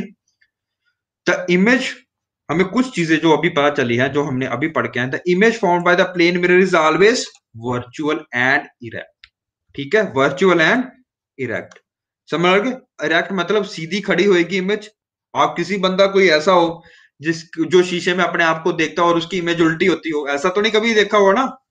वो भूत ही हो सकता है बस। ठीक है? वो बस वहाँ पे होता है कॉन्जूरिंग मूवी में, ठीक है? बट एक्चुअल में क्या होता है? मीटिंग ऐप में क्लास नहीं चल रही? राजन, कोई बात नहीं बेटा। एक बार दोबारा ज्वाइन कर लो। तो बेटा अब से रेगुलर ज्वाइन करा करो। हो सका कि क्लिनिक मीटिंग में हो सके तो करा करो। मैं यूट्यूब तो चलाऊँगा ही चलाऊँगा, उसकी टेंशन मत लो। बट क्योंकि ये सिस्टम कुछ ऐसा है कि जितना इसको समझोगे, उतना इसमें अच्छा आपका रिज़ल्ट आएगा, ठीक है? क्योंकि एंड में तो सिस्टम ने एनालाइज करना है ना, ठीक है? कुछ लोग हैं, जैसे कि हेम प्रिया है या एक दो और बच्चे हैं हमारे पास, जिनके नंबर कल ज़ीरो आए हैं, जिन्होंने सबमिट का बटन नहीं दबाया था या किसी कारणवश वो कनेक्ट नहीं हो पाए।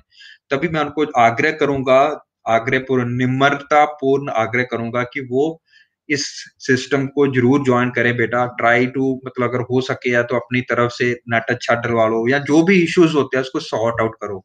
आप मेरे से ज़्यादा पढ़े लिखे हो। पढ़े लिखे तो नहीं कह सकता बट आप मेरे से ज़्यादा टैक्स सेवी हो।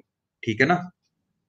आप मेरे से ज़्यादा टैक्स सेवी हो। टैक्स सेवी का मतलब होता है आप इस टेक्नोलॉजी में आप मेरे से ज़्यादा पढ़े मतलब ज़्यादा कर सकते हो उसको, अच्छे से अडेप्ट अगर मैं अडेप्ट कर पा रहा हूँ तो आप तो इससे अच्छे होना चाहिए, मेरे से अच्छा होना चाहिए आपका रिस्पॉन्स सर, बोलो, सर, ऐसा भी कर सकते हैं, आपको पता है? ये मैंने सिस्टम में करके देखा, ये ऐसा भी हो सकता है। हाँ जी हाँ जी, देखो देखो देखो देखो यूट्यूब पे जी सद के देखो बट ट्रस्ट आपका जब भी होगा, वो यहाँ पे होगा। तो कल जैसी प्रॉब्लम ना आए आगे से तो तब मैं इस बात के लिए कह रहा हूँ। Yes new generation thank you बेटा, मेरी हिंदी को सराहने की, सराहने के लिए। ठीक है थैंक यू यू नो जब आप पढ़ते हो, जब आप, मैंने, अब मैंने इतने क्वेश्चंस को हिंदी में ट्रांसलेट किया तो अब मेरे को इजी लगती है हिंदी। तो जब आप नहीं करते हो किसी चीज़ को तो वो आपको डिफिकल्टी लगती है। शुरू में तो मेरे को बहुत डिफ़िकल्ट लगी थी but once you got to get to know the language ठीक है ना तो it's not that much difficult और हिंदी तो वैसे भी मेरी फेवरेट है। दसवीं में मेरे चौरानवे नंबर आए थे। छोड़े, काफ़ी टाइम हो गया। हाँ। कोई बात नहीं, कोई बात नहीं मनचिंद्र कौर। टेस्ट दो बेटा टेस्ट आपकी रिवीजन के लिए होता है। हमें भी पता चलता रहता है कि जो हम पढ़ा रहे हैं, आपको समझ लग रहा है कि नहीं लग रहा है। अगर नहीं लग रहा है तो हम उसको इम्प्रूव कर सकते हैं और, ठीक है?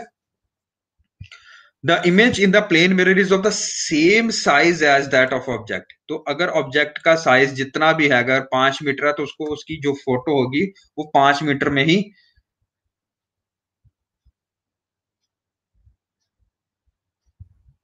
यस यस यस गुड अच्छा बात है, गुलशन कुमार।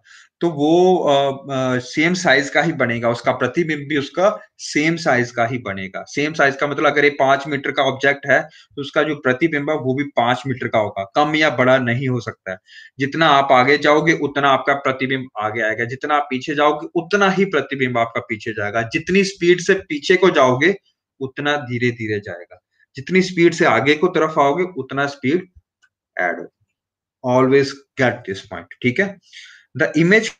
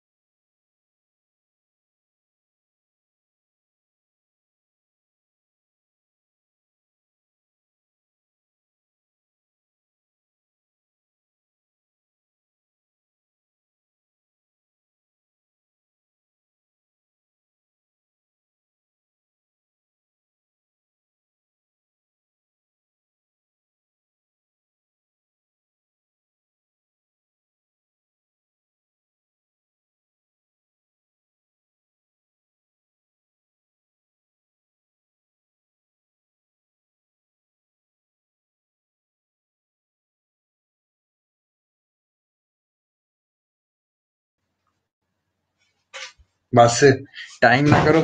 टाइम दो मत। कि भाई, तुम बातें करनी शुरू कर देते हो उसी टाइम पे।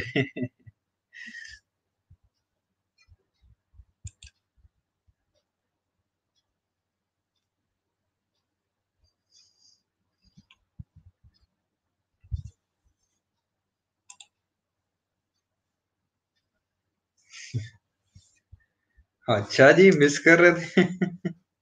चलो चलो चलो। पार्टी शार्टी हो रही थी। चलो, वो नेट का थोड़ा सा इशू आ गया था मेरे भी। आ जाता है भाई कभी कभी ठीक है? चलो तो इमेज हमने देखा था कि एक तो सेम डिस्टेंस पे बनेगा, ठीक है? As the object is front ठीक है? सभी बर्थडे मना रहे हैं, किसका? चलो चलो, बस करो बस करो, अब बड़ा मसाला लग गया। सुल्ताना सुल्ताना जी, आपका बर्थडे है? वेरी गुड हैप्पी बर्थडे बेटा. Okay third point the image in the plane mirror is the same size of that object की अगर मैं आप शीशे में अपनी शक्ल देखते हो, बेटा तो अगर आप शक्ल देखते हो तो आपकी शक्ल शक्ल जो है वो उससे बड़ी तो नहीं होती जितनी आपकी एक्चुअली है, ठीक है ना? संकेत का भी है. तो happy birthday Sanket and Sultana. दोनों का हैप्पी बर्थडे बेटा. नहीं है? अच्छा चलो एनीवेज तो ये समझ लग गया कि जितनी आपकी प्रतिबिंब होगा, जितना आपका मतलब सॉरी जो भी ऑब्जेक्ट होगा, उसी साइज़ की उसकी इमेज बनेगी, ठीक है? और लास्ट में हमने पढ़ लिया था plane mirror is laterally inverted laterally inverted मतलब कि जितना भी, जो भी आप प्रतिबिंब का मतलब अगर हमारा राइट हैंड है तो उसका लेफ़्ट हैंड होगा, ठीक है ना? यस वर्चुअल अपराइट अपराइट का मतलब होता है इरेक्ट ठीक है जी? Very good good Gulshan.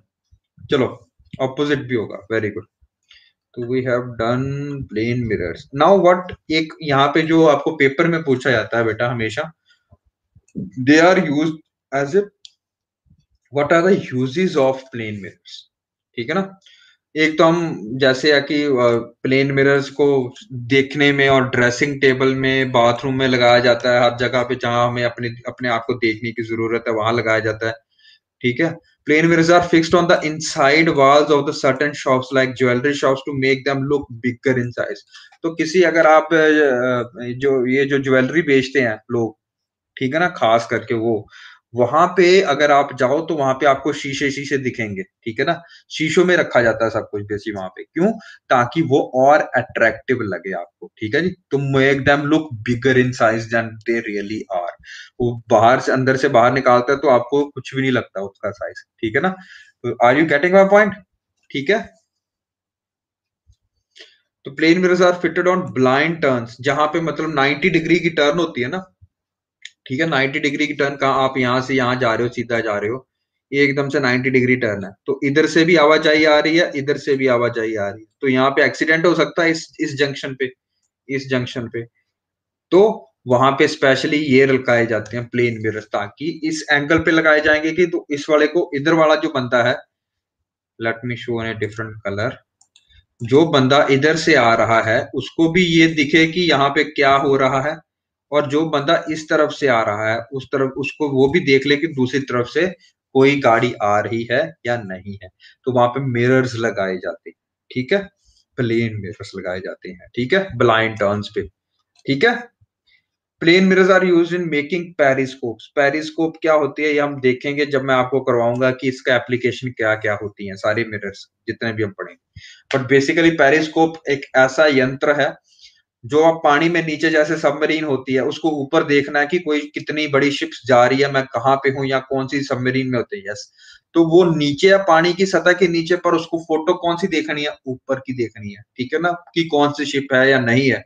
तो वो क्या करता है? वो एक शीशे का प्रतिबिंब इस एंगल पे लगाए जाते हैं, ताकि कोई भी लाइट रे वहाँ पे आ रही है, वो रिफ्रैक्ट होके इस एंगल पे, ये देखो एक यहाँ पे एक यहाँ पे है। यहाँ पे जो ट्राई करती है, उसका एंगल यहाँ पे रखा हुआ वो यहाँ पे टकराती है। यहाँ पे इमेज बनेगी, उसको यहाँ पे रखा होगा, दूसरी तरफ़ से। तो हर एंगल पे ये रखा जाता है, ताकि आपको ऊपर वाली इमेज या बाहर वाली इमेज भी यूज़ कर सके। इसका पहला यूज़ इजिप्शियंस ने किया था, मिस्र की सभ्यता ने। तो वहाँ पे क्योंकि पिरामिड्स में लाइट तो है नहीं, ठीक है ना? तो पिरामिड्स में उन्होंने क्या किया? हर जगह पे इस एंगल पे, एक एंगल पे उन्होंने शीशे लगाए होते थे ताकि जब वो शीशों पे रोशनी पड़े सनलाइट पड़े तो वो रिफ्लेक्ट होके अंदर लाइट ला सके। ठीक है जी? तो ये प्लेन मिरर्स की सारी की सारी इसका मेन इसका स्क्रीनशॉट ले लो। हाँ use in automobiles also very good ठीक है? कभी आपने देखा होगा, गाड़ी चलाते समय जो आप, जिसको आप ऐसे करके सेट करते हो, अंदर वाला जो होता है मिरर वो कौन सा मिरर होता है? डोरेमोन कौन देखता है भाई? नीरज होता ठीक ठाक हो बेटा। डोरेमोन? अच्छा। ठीक है। तो यस बैक साइड जो आपका मिरर होता है तो उसमें आप यूज़ करते हो इस मिरर को ताकि आपका, आपको पता चल जाए कि जो एक्चुअल डिस्टेंस है, देखो प्लेन मिरर का क्या फ़ायदा है? आपने देखा होगा अगर आप बाहर वाला इमर देख रहे हो बाहर वाला जो साइड वाला मिरर देख रहे हो रियर व्यू मिरर जिसको बोलते हैं हम गाड़ी में जो बाहर लगा है गाड़ी की बा, बारी के बाहर लगा हुआ ध्यान से देखना। जो ड्राइवर होता है जब वो गाड़ी को देखता है उधर को उसको ज़्यादा बड़ा व्यू दिखता है बट इमेज का चक्कर होता है कि वो जब वो मिरर में देख रहा है प्लेन मिरर में ऐसे जो बैक साइड में लगा होता है आपके हाथ से वो एडजस्ट होता है जो। उसमें देख रहा तो गाड़ी बड़ी लागे मतलब वो बहुत ज़्यादा पास में होती है। जब वो साइड में देख रहा तो गाड़ी काफ़ी डिस्टेंस में लग रही है। ये भी क्यों होता है और कैसे होता है, ये आज हम पढ़ेंगे। प्लेन मिरर में एक्चुअली असली फ़ोटो दिखती है बेटा। प्लेन मिरर में आपको पता चलता है गाड़ी कितनी आगे है या आपसे पीछे है या कितनी स्पीड से आ रही है। वो आपको पता चलेगा प्लेन मिरर से। साइड एंगल से आपको बहुत दूर का व्यू दिखेगा। वो हमारा कनकेव मिरर होता है बेटा। कनकेव के कन्वेक्स लेट मी चेक ठीक है ना? कन्वेक्स होगा मेरे ख्याल से कन्वेक्स मिरर हाँ कन्वेक्स मिरर होता है। यस यस कन्वेक्स मिरर होता है। तो now we should do some other things apart from ये हमने सब कुछ डिस्कस कर लिया। Now let start curved mirrors या जिसको हम स्फेरिकल मिरर्स बोलते हैं। What are those mirrors spherical mirrors अगर आप देखो तो ये गोल सा आकार का जो है ये होता है थम सा होता है जैसे, ये मेटेलिक मेटल का। तो एक तरह का स्फेरिकल मिरर बोलेंगे हम इसको, ठीक है? एक नॉर्मल प्लेन मिरर और इसमें क्या फ़र्क है? इसमें सिर्फ़ इतना फ़र्क है बेटा कि कर्व्ड होता है, ठीक है ना? गोल आकार होता है कर्व्ड होता है, ऐसे करके कर्व किया जाता है उसको, ठीक है? ये कर्व होता है इसी तरह से, ठीक है ना? तो हम देखते हैं यस गाड़ी में कन्वेक्स साइड वाला रियर मिरर म्यू इज़ कन्वेक्स मिरर यस चले आगे। तो ये जो होते हैं मिरर्स होते हैं, अगर मैं इसको अच्छे से आपको बताना चाहूँ तो जैसे मैंने अभी बताया, देखो, अगर मैं गोलाकार देखूँगा तो सोचो मैंने ये मिरर है। अगर मैं कॉली दो कोलियों को जोड़ दूँ लेट मी शो यू अगर मैं दो कोलियों को जोड़ देता हूँ तो ये मिरर ही बन जाएगा गोलाकार बन जाएगी। समय लग गया, पूरा का पूरा सफेरिकल बन जाएगी। अब मैंने क्या किया उनको मिरर को काट दिया, ठीक है? जब मैं मिरर को काट दूँगा, ठीक है ना तो अंदर वाला हिस्सा जो बन जाएगा, ये वाला हिस्सा, ये बन जाएगा कॉनकेव, बाहर वाला सा जो पे टू है, वो बन जाएगा कॉनवेक्स। केव केव मतलब गुफा होती है ना, गुफा तो ये गुफा बन जाएगी तो कॉन केव कॉन वैक्स लग गए समझे? Yes yes yes Amit ji. लग समझ, अब इसकी यूज़ पे बच जाओ, अभी बस इसका हम ब्रॉडली समझने की कोशिश कर रहे हैं। समझ रहे और अगर मैं इसके बाहर वाले जगह को शीशे मतलब लिशका दूँ, मैं उसमें वो डाल दूँ सिल्वर डाल दूँ, ठीक है? तो अगर बाहर वाली सर्विस पॉलिश्ड है तो मैं उसको बोलूँगा, कौन सी सर्विस है ये? कॉन्वेक्स मिरर डन अगर अंदर वाली सरफेस पॉलिश्ड है, ठीक है ना, शीशा ही है अंदर वाले शीशा जो पॉलिश है तो हम इसको बोलेंगे कॉन केव मिरर। ठीक है? अरे यार, ऐसा मत बोला करो, सोनिया जी या गरिमा सेठी। मैं सबके मैसेज पढ़ता हूँ बेटा, पर आप मेरी तरफ़ से इधर आगे देखो, कितने मैसेजेस आ रहे हैं। तो मैं समझाना भी होता है और पढ़ना भी होता है। आप सबका मैसेज देख रहा हूँ, सोनिया, टेंशन मत लो, ठीक है? तो ये समय लग रही है। दिस इज़ कॉनकेव दिख नहीं रहा आपको? दिख रहा है बेटा अभी? ज्योति का try to refresh your mirror जो भी है, ठीक है, वो दिखना चाहिए। This is just your concave surface ठीक है? तो अब अगर मैं जो पढ़ रहा हूँ यहाँ पे तो ये अगर मैं इसको आधा कर देता हूँ तो मेरे पास कुछ ऐसी फ़ोटो बनेगी, ये देखो। अब ये जो यहाँ पे मैंने सॉरी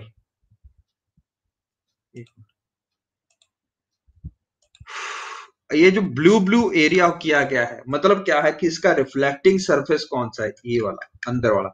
तो मैं जब ये बात करूँगा कि बाहर से मैंने पॉलिश कर दिया है, ठीक है? बाहर से मैंने पेंट कर दिया नॉट पॉलिश बाहर से मैंने पेंट कर दिया है, अंदर से मैंने क्या रखा है? अंदर से मैंने उसको क्या कर रखा है? अंदर से मैंने शीशा लगाया हुआ है, अंदर से मैंने शीशा लगाया हुआ इसके अंदर। तो ये कौन सा मिरर हो जाएगा? कन केव मिरर अगर उल्टा है तो कॉन्वेक्स मिरर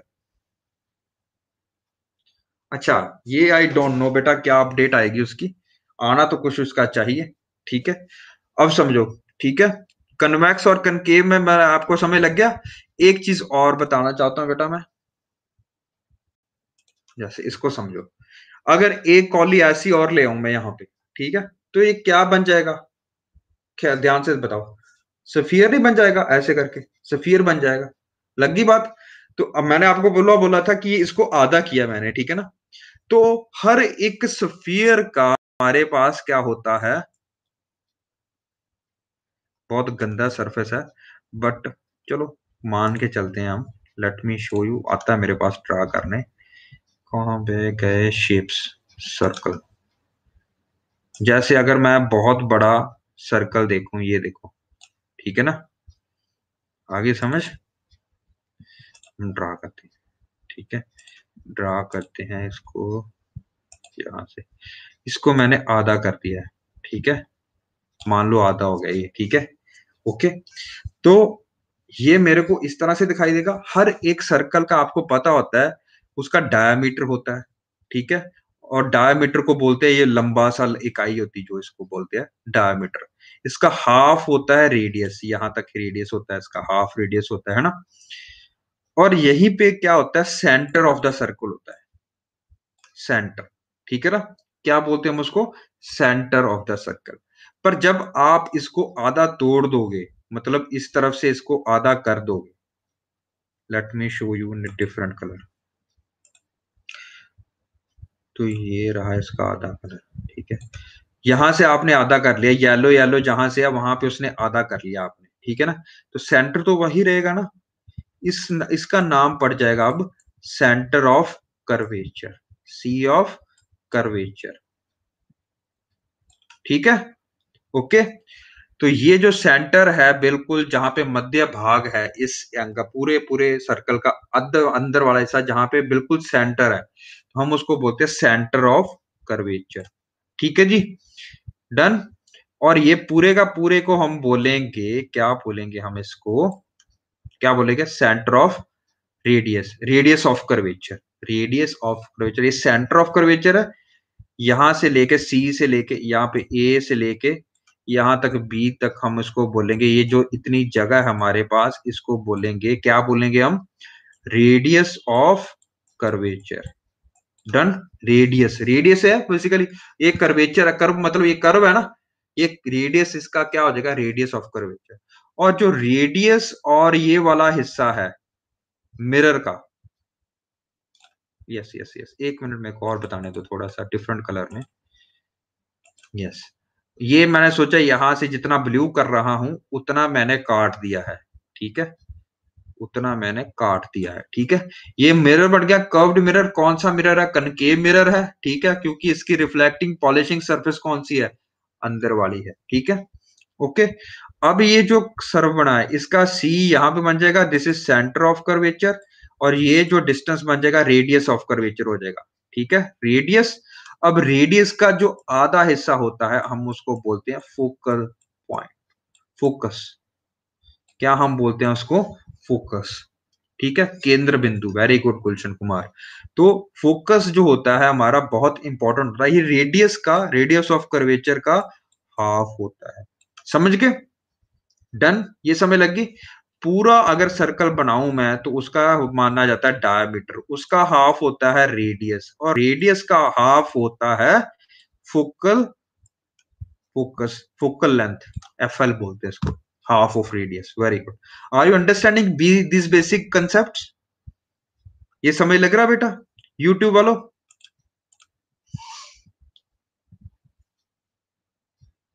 यूट्यूब वालों, समझ लग रहा कुछ? टाइप करके बताओ।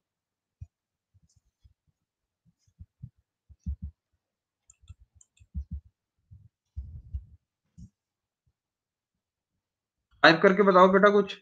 चल रहा है तुम्हारा सिस्टम यूट्यूब वाला दिख रहा है?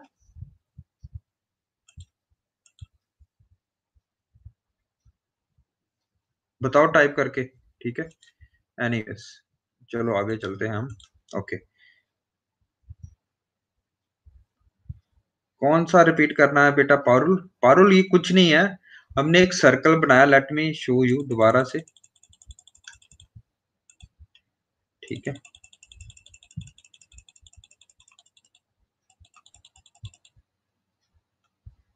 अच्छा ठीक है ठीक है ओके तो ये जो हमारा ये कर्व सरफेस है ब्लू वाला ये क्या है आपका? रिफ्लेक्टिंग सरफेस इसका जो सेंटर होएगा, हम उसको बोलेंगे सेंटर ऑफ़ कर्वेचर और सेंटर ऑफ़ कर्वेचर से लेके जो आपका बाहर जो रेडियस होता है, ये हम बोलते हैं रेडियस ऑफ़ कर्वेचर और रेडियस ऑफ़ कर्वेचर का जो आदि हिस्सा होता है, बिल्कुल मिड पॉइंट अगर केंद्र बिंदु की बात करें रेडियस ऑफ़ कर्वेचर का, वो होता है फोकस पॉइंट ये फोकल पॉइंट बहुत ज़रूरी है बेटा. अगर ये फोकस पॉइंट पे नहीं रखोगे चीज़ तो हमारे पास इमेज अच्छे से उसकी तरह चेंज हो जाएगी इमेज भी चेंज हो जाएगी उसके हिसाब से, ठीक है? तो हमने ये देखा, अभी आपको जो सारी लाइनें बताई हैं, ठीक है? तो अगर हम चम्मच देख रहे हैं, चम्मच को तो इस वाली साइड कौन सी होगी? कनकेव उस वाली साइड कौन सी होगी? यस लग गई समझ? कन्वेक्स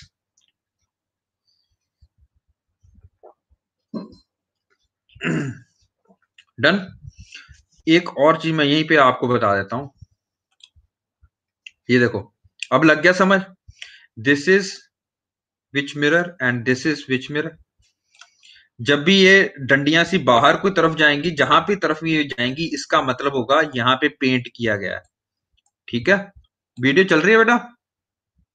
कहाँ पे पॉज होगी चल तो रही है वहाँ पे। चल रही है ना यूट्यूब पे? ओके सो so, अगर वो जो बाहर चल रही है जैसे ये डंडियाँ सी बाहर की गई हैं इसका मतलब मैंने इस सरफेस को पेंट कर दिया और अंदर वाली सरफेस रिफ्लेक्टिंग सरफेस है। अंदर वाली सरफेस पे शीशा लगाया इस सरफेस पे शीशा लगाया यहाँ पे पेंट कर दिया ठीक है? तो अब ये देखो इसका सेंटर होगा इसको हमने क्या बोला? सेंटर ऑफ़ कर्वेचर जो सर्कल अगर ये पूरा सर्कल होता तो इसका सेंटर होता। तो उसका सेंटर होता तो हम केंद्र बिंदु होता तो हम उसको बोलते हैं सेंटर ऑफ़ कर्वेचर ठीक है? और ये सी से लेके पी तक पी पॉइंट है जो वहाँ पे ये बिल्कुल लाइन ऑफ़ प्रिंसिपल एक्सिस को मूव करता है. इज़ प्रिंसिपल एक्सिस बेसिकली एक ऐसी सीधी लाइन है डायमीटर भी बोल लो चाहे इसको. तो ये ऐसी लाइन है जो सेंटर ऑफ़ कर्वेचर को पास करती है और यहाँ पे जो मिरर लगा है, उसको टच करती है. तो ये वाली लाइन है, ठीक है? एक्स लाइन इसको प्रिंसिपल एक्सिस बोलते हैं. ठीक है जी? अब हम आगे चलते हैं, ये पी पॉइंट तक। सी से लेके पी पॉइंट तक हमारे पास क्या होगा? रेडियस ऑफ़ कर्वेचर लग गई समझ? और इन दोनों के बीच में एक और मिड पॉइंट है, आधा मिड पॉइंट मतलब बीच वाला पॉइंट है, उसका नाम है हमारा एफ़ क्या लिखते हैं उसको? एफ़ फोकस ठीक है? इसी तरह इधर भी होगा, ठीक है? डन ओके समझ लग रहा है आपको बेटा? ओके इसमें क्या है? अंदर वाली सरफेस को पेंट किया गया है। और बाहर वाली surface is the reflecting surface सारी जो चीज़ें होगी वो यहाँ पे बाहर। ठीक है जी? ओके डन अब हम थोड़ा से सम, समझने की कोशिश करते हैं। तो हमारे पास क्या हो सकता है? देखो देखो एक चीज़ हो सकती है। जैसे अगर मैं बात करता हूँ यहीं पे लेट मी शो यू देखो हमारे पास है सेंटर ऑफ़ कर्वेचर ठीक है? और यहाँ पे बीच में है फोकस ठीक है? और है हम्म ठीक है।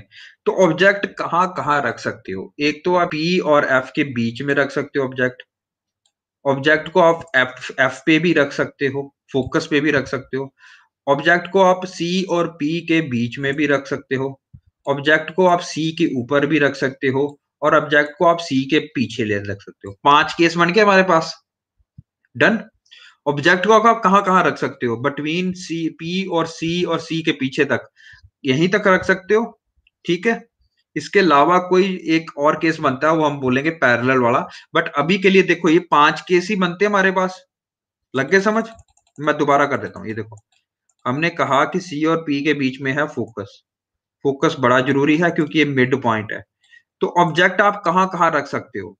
या तो एफ़ और पी के बीच में। ठीक है?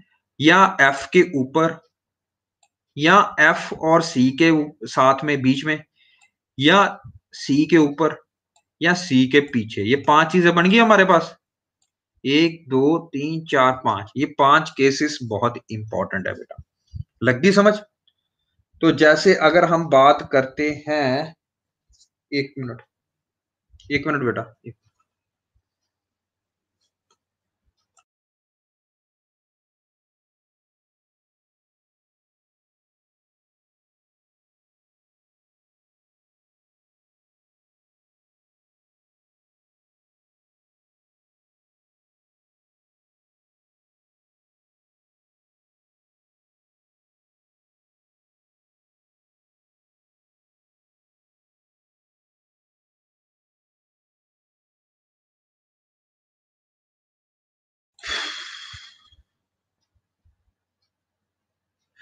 इसके अभी मैं एमसीक्यू डाल दूँ, कोई बात नहीं बेटा, डाल देता हूँ।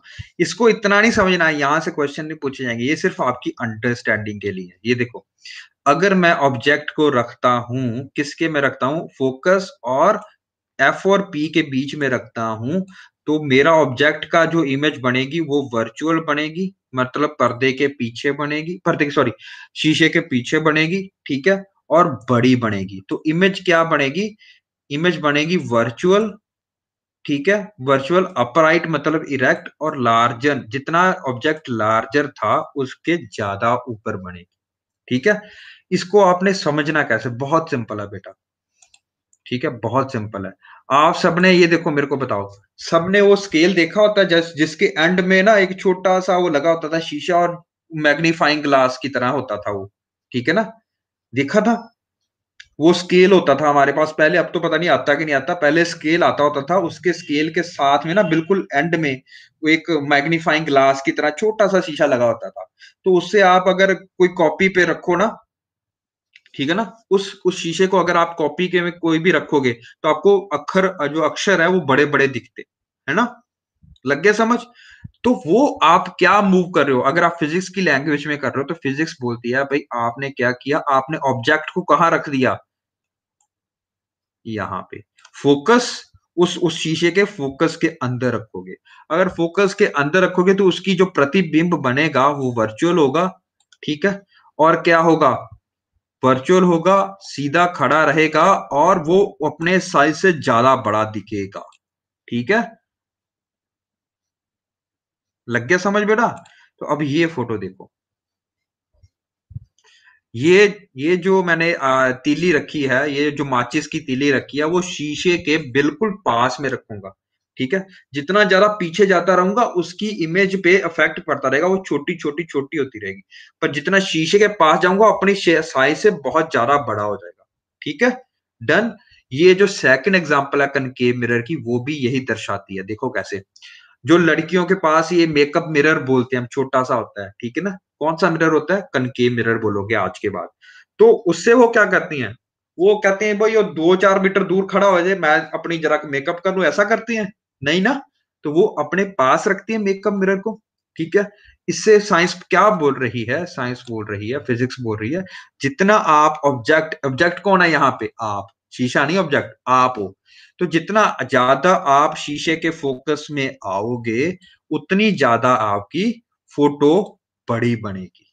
लग रही समझ? ये समय लग रहा इसी तरह जब आप डेंटिस्ट के पास जाते हो, उसके पास इस तरह का शीशा होता है, ठीक है ना? ताकि आपके जो दाढ़े हैं, जो दांत हैं, उसको अच्छे से दिख पाए कि कितनी टॉफियाँ खाते थे आप, ठीक है? तो कितने कीड़े लगे हैं वहाँ पे तो तब आपको बता पाएगा वो अच्छे से। ठीक है ना? तो this is again which type of mirror concave mirror समय लग रहा है? Is it that simple physics हर जगह मैंने बोला था मैं तो आपको साइंटिस्ट बना दूँगा। I will I will make you question everything ठीक है ना? ओके okay, अब ये फ़ोटो देखो। एक बच्चा यहाँ पे खड़ा है और उसकी बहन आगे को खड़ी है। ये मिरर कौन सा है? देखो इस तरह का मिरर है देखो। तो ये कौन सा मिरर होगा? Concave done everybody got this समझ रहे हो? अब ध्यान से देखो, इसका भाई और इसकी बहन, जो भाई और बहन है, बहन की जो इमेज है वो सीधी बन रही है, भाई की इमेज उल्टी बन रही है। समझ रहे हो? है ये कनकेव मिरर क्यों? क्योंकि बहन इसकी जो मिरर के फोकस के अंदर है। समझ रहे हो? हो बहन जो है, उसके फोकस के अंदर है। उसके कारण उसका प्रतिबिंब सीधा दिखाई देगा वर्चुअल दिखाई देगा इरेक्ट दिखाई देगा और bigger than that of object लग गया समझ? अभी हम सेकंड केस पे आएँगे, भाई के वाले केस पे आएँगे। पहला पहला केस समझ लग गया? एप्लीकेशन कर ली। ये सारी इसकी एप्लीकेशन है। कर ली याद? चलिए आगे। ओके सेकंड केस आता है हमारे पास, इसको याद नहीं करना, ये सिर्फ़ आपको एप्लीकेशन बता रहा हूँ मैं, ठीक है? सेकंड हमने बोला था, या तो पी और एफ़ के बीच में होगा सेकंड केस क्या होगा, जो फोकस पे ऑब्जेक्ट रखोगे तो क्या होगा, ठीक है? हमने देखा कि जब हम फोकस पे ऑब्जेक्ट रख रहे हैं तो उसकी इमेज कहाँ बन रही है? इन्फिनिटी पे। इन्फिनिटी मतलब पैरल होती जा रही है लाइटें जैसे ये टकरा के लाइट जो है, वो पैरल होती जा रही है। डन ओके ये पैरल होती जा रही है। इमेज कैसे बनेगी? Real and inverted and highly magnified और हाई एनलार्ज ठीक है? इसका क्या मतलब है बेटा? इसका मतलब ये है कि ये देखो। अगर हमने एक बल्ब रख दिया फोकस पे, हमने वो बल्ब ऑन कर दिया, यहाँ पे कौन सा सरफेस है? कनकेव सरफेस है। आपने गाड़ी का वो देखा? गाड़ी के यस गाड़ी का वो देखा? आगे वाला जो हेडलाइट होती है। ठीक है ना?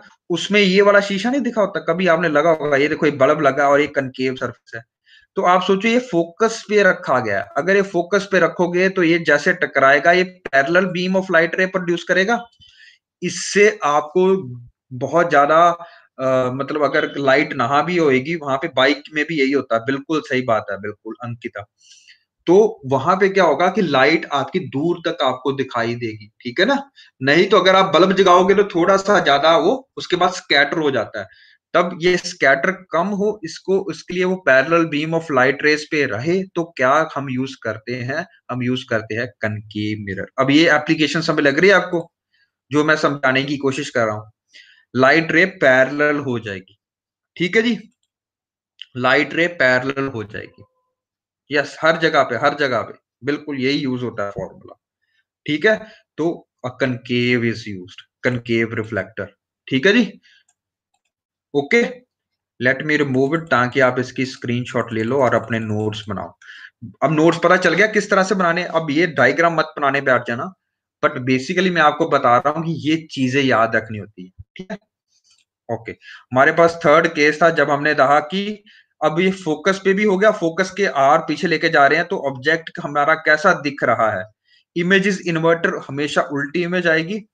इसका एक ही केस है जहाँ पे इसकी इमेज बड़ी दिखाई देती है, वो है जब आपका फोकस के अंदर कोई ऑब्जेक्ट होगा तो उसकी इमेज जो हो बड़ी दिखाई देगी रियल दिखाई देगी रियल वर्चुअल दिखाई देगी और इरेक्ट दिखाई देगी और मैग्निफाइड दिखाई देगी। बाकी सारे केसेस में ये इमेज कौन सी बनाता है? रियल इमेज बनाता है हमेशा। ठीक है? और क्या बनाता है?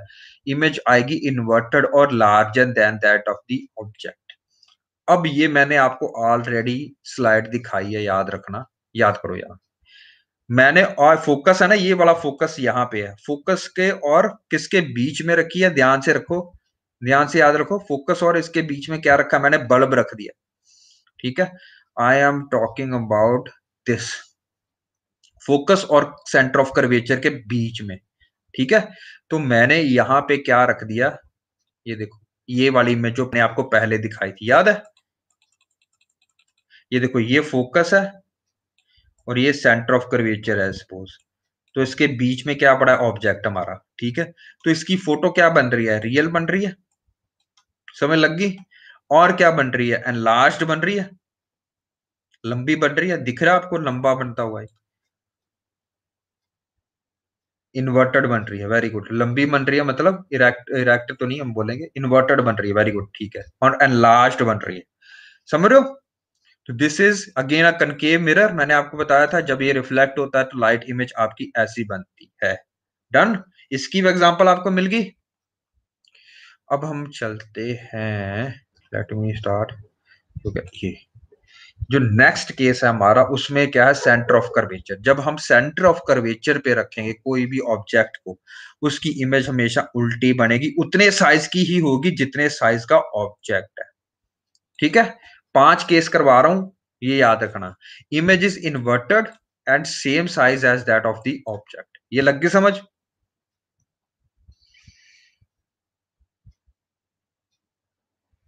बहुत बढ़िया बेटा, सोनिया, बहुत बढ़िया। बेटा आपको याद, जिस तरह से तरीके से याद रख सकते हो, मेरे को याद रखने से मतलब है। मेरे को ये मतलब नहीं आप कैसे याद रखते हो, ठीक है? यस गुड अच्छी बात है सोनिया। डायग्राम बना के अच्छे रखो, या इसका फ़ोटो लेके रख लो, उसको अपनी कॉपीज में डाल लो, जैसे भी मज़ा करना आप कर सकते हो, ठीक है? एक लास्ट केस हमारे पास जो बचा है, वो कहाँ गया? लेट मी शो यू हाँ।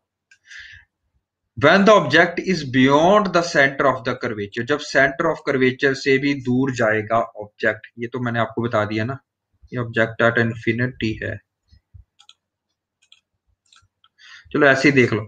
जब सेंटर ऑफ़ ऑब्जेक्ट बहुत ज़्यादा दूर चले जाएगा सेंटर ऑफ़ कर्वेचर से तो कौन सी इमेज बनेगी? इमेज कहाँ बनेगी? Image will be found between focus and the centre हमेशा रियल एंड इन्वर्ट होगी and smaller than the object होगी ठीक है? इसी को देख लो, चम्मच को। चम्मच को अगर आप सीधा पकड़ के रखोगे ना तो आपकी फ़ोटो हमेशा उल्टी दिखाई देगी, ठीक है? और हमेशा क्या दिखाई देगी? छोटी दिखाई देगी, ठीक है? डिमिनिश दिखाई देगी, छोटी दिखाई देगी, और दूर कर दोगे मतलब सेंटर ऑफ़ कर्वेचर से और दूर चले जाओगे तो छोटी छोटी छोटी छोटी छोटी इमेज दिखाई देगी आपकी, ठीक है?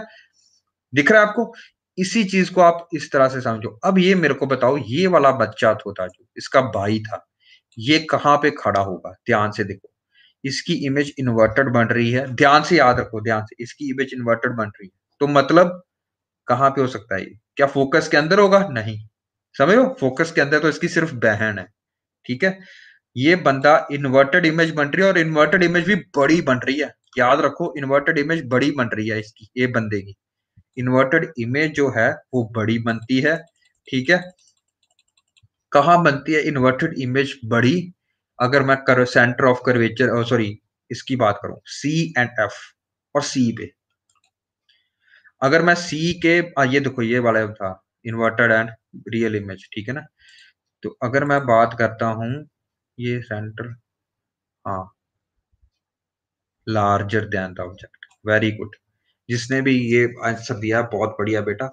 अगर हम सी और एफ़ के बीच में रखते हैं सेंटर ऑफ़ कर्वेचर और फोकस में ऑब्जेक्ट को बीच में रखते हैं उसकी इमेज उल्टी आएगी।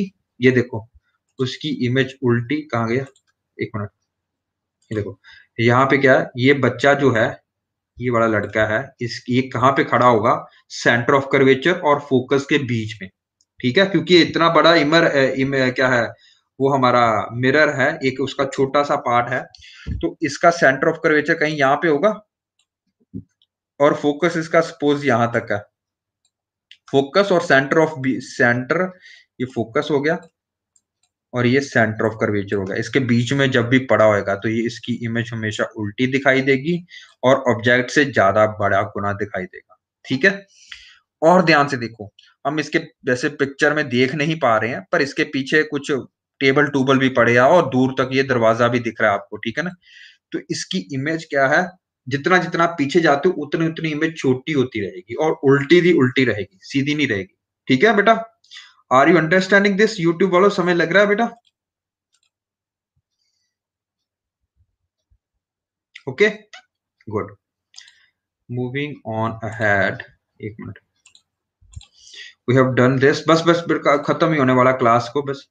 ये आपने बता दिया, मैंने ये भी आपको अब ये लास्ट छवा केस आप देख लो एक बार, जिसमें मैंने बोला, अगर इमेज इन्फिनिटी से आ रही है इन्फिनिटी का मतलब अगर सनलाइट आ रही है सनलाइट काफ़ी दूर आ रही है, उसका हम डिस्टेंस नहीं लिखेंगे तो हमने कह दिया उसको इन्फिनिटी से कोई भी लाइट रे आ रही है।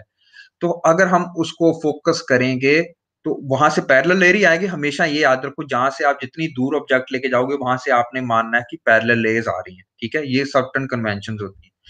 तो आपने क्या करना है? When is object is at infinity from a concave mirror then the object image is formed at at the focus जहाँ पे, कहाँ पे बनेगी इमेज अब फोकस पे बनेगी इमेज ठीक है?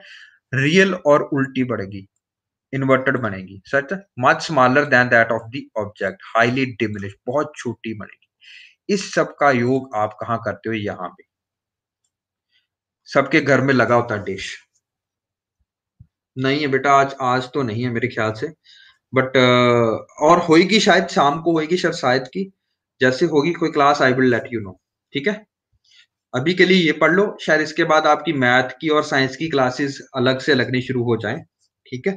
उन पे भी आपने अच्छा सा कंसंट्रेट करना है, आपकी इंग्लिश इंप्रूव होनी चाहिए, ताकि आपकी होलसम डेवलपमेंट हो पाए, ठीक है बेटा?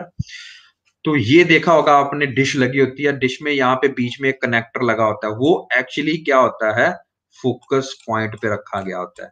और जो सैटेलाइट से सारी रेज आती हैं, वो यहाँ पे टकरा के यहाँ पे फोकस होती है फोकस जगह पे। हाँ। अरे बेटा ज्योग्राफी लगा देते हैं आप रेनू मैम से पूछो कि ज्योग्राफी किसने करवानी है। अगर वो बोलेंगे तो मैं करवा दूँगा, नहीं तो उनके पास और टीचर है तो वो करवा देंगे, ठीक है ना? अलग से वो आप मेरे को मैम से बुलवाना पड़ेगा आपको, ठीक है ना? कहने का सेंस है कि अगर वो बताएँगे वो अगर वो टीचर उनके पास है तो वो लेंगे, नहीं तो कोई और ले लेगा। ठीक है? हमारे में से भी ले लेगा कोई टीचर। दीपांशु सर भी हैं, वो भी ले सकते हैं। ठीक है? तो बहुत सारे टीचर्स हैं हमारे पास। उसकी टेंशन मतलब ज्योग्राफी भी शुरू हो जाएगा। पहला आप इतना तो कोप अप करो। ठीक है? ओके। सो, ये एक जो डॉक्टर होते हैं, कई जो ईएनटी स्पेशलिस्ट होते हैं, ठीक है? वो क्या करते हैं, ये वाला शीशा लगा के रखते हैं कनकेव वाला। क्योंकि वो चाहते हैं कि जब भी, जो भी लाइट रे उनके ऊपर पड़े, वो कंसंट्रेट हो और आपकी कान की तरफ़ जाए। तभी वो आपको मैग्नीफाइंग ग्लास सॉरी ये वाला कनकेव मिरर यहाँ पे रखते हैं। ठीक है हेड मिरर बोलते हैं इसको। जगजीत को बेटा मैं क्या क्या करवाऊँगा? हाँ? विल ट्राई मैं करता हूँ ट्राई देखता हूँ। कनकेव मिरर क्या होता है? मेरे पास बनी पड़ी है प्रेजेंटेशन बनी पड़ी है मेरे पास। मैंने कराई भी होगी, जो पुराने बच्चे हैं मेरे, उनको करवाया गया मैंने एक लेक्चर पूरा करवाया let me share with the पहले आप वीडियो देख लो, वो है मेरे पास। हाँ दिख जाएगा वो भी। मेरे पास वीडियो है, एक बार देख लो, वो मैंने बनाई थी फिजियो फिजियोग्राफी ऑफ़ इंडिया पे। ठीक है ना? बहुत अच्छी वीडियोस हैं। Okay the image you see from the mirror is either real inverted और अपराइट ठीक है? कनकेव मिरर अगर आप देखोगे तो उसकी जो इमेज आएगी, वो रियल इन्वर्टेड आएगी और वर्चुअल अपराइट आएगी। ये दो ही बन सकती हैं इमेज ये केस हमें पता है, ये कब बनेगी? जब फोकस के अंदर वाली इमेज होगी तब ये बनेगा एमआर ठीक है ना? ओके यहाँ पे कौन सी इमेज लगेगा हिस्ट्री भी पढ़ा दू मैं? अरे बेटा हिस्ट्री तो मेरा वैसे सब्जेक्ट है। आई विल शेयर यू मैंने एक प्रेजेंटेशन बनाई है। I will share with you मैंने बनाई थी मिडीवियल इंडिया की। ठीक है? I will share with you ठीक है? कोई बात नहीं बेटा, कई बार होता है ऐसे टेंशन मत लो। We will discuss with that okay अब ये देखो, यहाँ पे कौन सा इमेज बन रही है? खुद बताओ मेरे को। What kind of image will forming it here bulb को मैं कहाँ पे रखूँगा?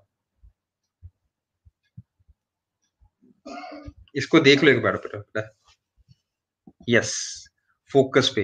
डन डन डन लग गया समझ? तो फोकस पे रखूँगा तो ये लाइट पैरेलल जाएगी। यहाँ पे टकरा के देखो कनकेव मिरर से टकरा के लाइट पैरेलल हो जाएगी।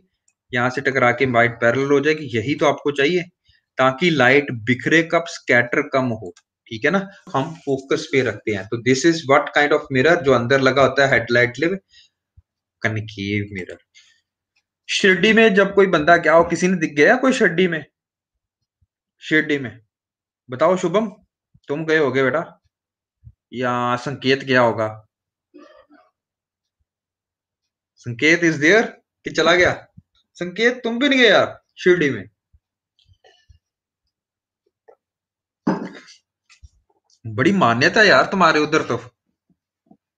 अच्छा इंद्रजीत को तो वहाँ पे जो लंगर हाल है, वहाँ पे जो खाना बनाना, बनाया जाता है ना बेसिकली वो एक कनकेव रिफ्लेक्टर्स पे बनाया जाता है।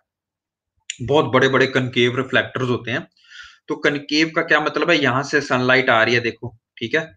यहाँ से सनलाइट फोकस पे रखोगे, यहाँ पे आप खाना रखोगे, यहाँ पे यहाँ पे, फोकस पे। तो सारी की सारी लाइट कंसंट्रेट होके यहाँ पे जाएगी। तो यहाँ पे ये फिर लकड़ियाँ जला लेते हैं या मतलब ऐसे इकट्ठा कर लेते हैं, वहाँ पे खाना रख देते हैं। जाना चाहिए यस यस गुड तो बड़ी आस्था है लोगों की वहाँ पे। तो ये कनकेव मिरर पे रिफ्लेक्ट होता है। चले आगे बेटा? ओके डन और उसी तरह से अगर हम ये वाला देखें mirror this is mirror is again which type of mirror concave mirror ठीक है? And last last is this shaving mirror ठीक है ना? ये भी सारा कुछ सेम होता है। ठीक है? We have done all this इस स्लाइड को आप एक बार कॉपी स्क्रीनशॉट लेके रख लो। ठीक है? मोस्टली मैंने आपको करवा दिया क्या? जो नहीं समझ होगा you can discuss with me ठीक है? इसकी स्क्रीनशॉट ले लो। ठीक है? डन तो कल से हम स्टार्ट करेंगे कन्वेक्स कन्वेक्स भी अगर मैं कहता हूँ तो करा दूँ? दो मिनट लगेंगे और। ठीक है? तो कन्वेक्स में हमारे पास एक ही इमेज बनती है, वो बनती है। हमेशा वर्चुअल इमेज बनेगी, ठीक है? ठीक है? और दूसरी छोटी इमेज बनेगी। वर्चुअल एंड स्मॉल ये याद रखो। वर्चुअल और इरेक्ट और मैग्निफाइड इमेज कहाँ बनेगी? कनकेव मिरर में, ठीक है? इरेक्ट एंड मैग्निफाइड वो इमेज बनेगी जब आप फोकस के अंदर कोई भी ऑब्जेक्ट रखते हो तब। ठीक है जी? यार यू अंडरस्टैंडिंग माई पॉइंट ठीक है? तो जब भी इमेज बनेगी, जब सीधी बन रही है, देखो यहाँ पे इमेज क्या बन रही है? सीधी। और जब मैं यहाँ पे इमेज बना रहा हूँ, ये देखो चम्मच पे यही इमेज बन रही है, ये ध्यान से देखो, कौन सी सरफेस पे बन रही है? जो बाहर वाला हिस्सा होता है, ठीक है? ये जो बाहर वाला हिस्सा होता है, यहाँ पे सीधी इमेज बन रही है। और यही इमेज को अगर मैं कन्वेक्स में लेके जाऊँगा तो क्या बनेगी? कनकेव में। This is concave mirror sorry this is concave mirror बाहर वाला हिस्सा है ना इसका। तो अगर मैं कन्वेक्स में लेके जाऊँगा तो वही इमेज मेरी इस तरह से बनेगी। डन लगी समझ? इन्वर्टेड स्मॉल इमेज ठीक है? और अगर मैं दूसरी तरफ़ लेके जा रहा हूँ तो मेरे पास ये इमेज बनेगी। ओके डन इसका इमेज अब वही जो हमने शीशा वाला देखा था शीशे वाला एग्जांपल जब हम कन, कन्वेक्स मिरर में वही आ, रखेंगे क्या कहते हैं माचिस की तीली को अब ये अपने साइज़ से छोटी दिखाई देगी। ठीक है जी? ओके साइज़ से छोटी दिखाई देगी। और इसका यूज़ हम कहा करते हैं ये देखो। ये साइड व्यू मिरर जिसको बोलते हैं रियर व्यू मिरर ठीक है जी? इसमें क्यों देखते हैं? क्योंकि हमारा फ़ील्ड ऑफ़ व्यू बहुत बढ़ जाता है, ठीक है? कन्वेक्स मिरर से। ये देखो, अगर मैं प्लेन मिरर यूज़ करता हूँ, ठीक है? तो क्या होगा?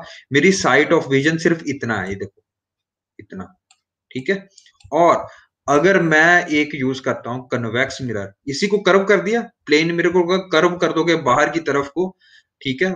तो वो साइट ऑफ़ व्यू इतना बढ़ जाता है आपका। ठीक है? समझ रहे हो? सिर्फ़ आपको एक गाड़ी नहीं दिखाई देगी, दस गाड़ियाँ दिखाई देगी जो आसपास में घूम रही है ठीक है जी? डन तो पार्किंग में आप इसका ज़्यादा यूज़ करते हो कि पार्क में आपको पता चलना चाहिए कि चार पाँच गाड़ियाँ ना लगी हो तो कहाँ पे पार्किंग करूँगा मैं? उसके हिसाब से और पीछे का रियर व्यू देखने में आपको ये चीज़ हेल्प करती है। अब समय लग गया। This is known as rear view mirror ठीक है? तो ये कौन सा मिरर है? ये रियर व्यू मिरर बस बस खत्म हो गया बेटा, बस। ये देखो इंटरसेक्शंस पे भी ये लगाया जाता है, देखो, ताकि इधर से अगर गाड़ी आ रही है, उसको बाहर को, ये बाहर को नहीं, बाहर को बाहर को निकला हुआ था देखो। जो बाहर को निकला होता है, उसको नाम होता है कन्वेक्स मिरर ठीक है जी? तो ये यहाँ पे लगाए जाते हैं ताकि आपको दूर तक व्यू दिखे उसको, कि आगे से गाड़ी आ रही है तो मेरे को स्लो हो जाना चाहिए। ठीक है? Done last and not the least ये भी यस यस वेरी गुड संकेत। ये बताओ कौन सा मिरर है? ये बताओ कौन सा मिरर है?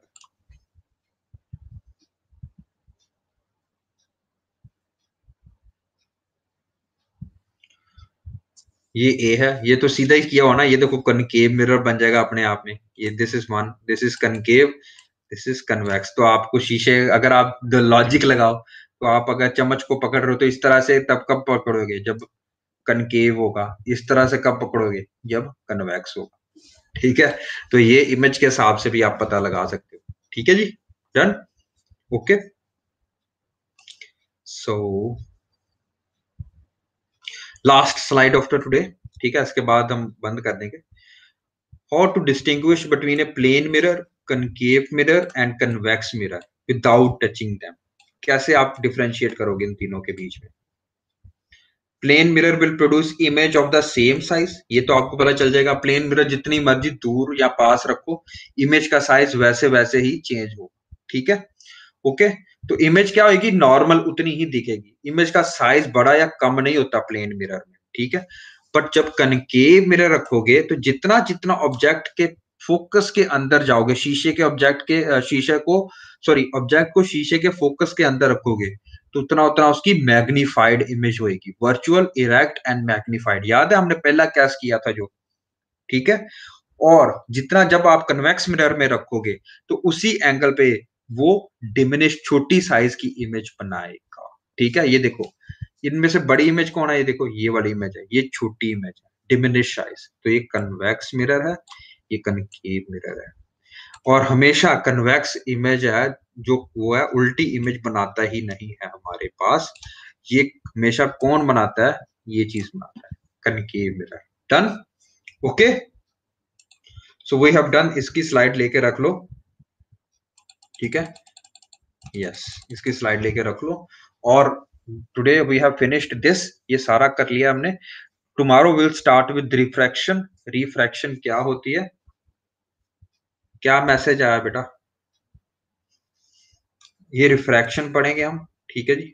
Okay we will do what ये क्यों होती है, किस एंगल में होती है, फिर हम उसकी एग्जांपल्स पढ़ेंगे रिफ्रैक्शन की क्या होती है, कहाँ कहाँ पे हम उसको यूज़ करते हैं, ठीक है? केबल क्या होती है फाइबर ऑप्टिप्स क्या होते हैं टोटल इंटरनल रिफ्लेक्शन क्या होती है? अरे, इतना बड़ा मैसेज गुलशन कुमार जी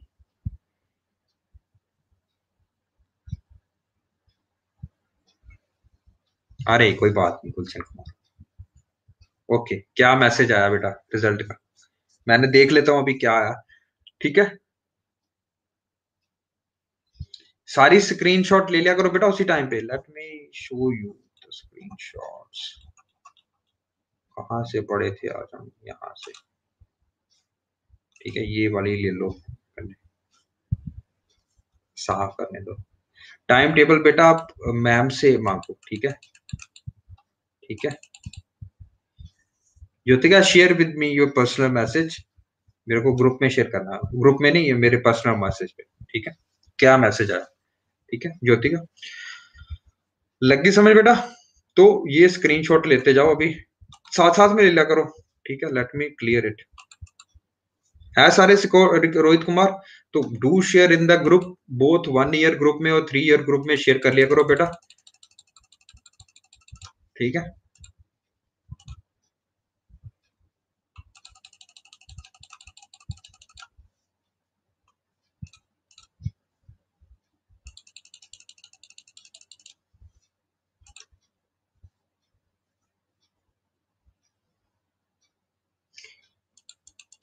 बेटा टेस्ट आपने क्यों नहीं दिया? ये तो आपके ऊपर है ना फिर।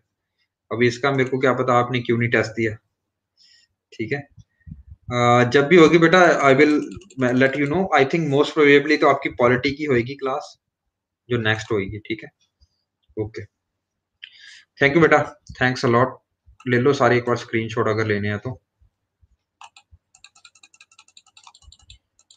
बाकी है बाकी बच्चों के पास ग्रुप में है। They can you can take it over from them. Okay? Thank you. Thank you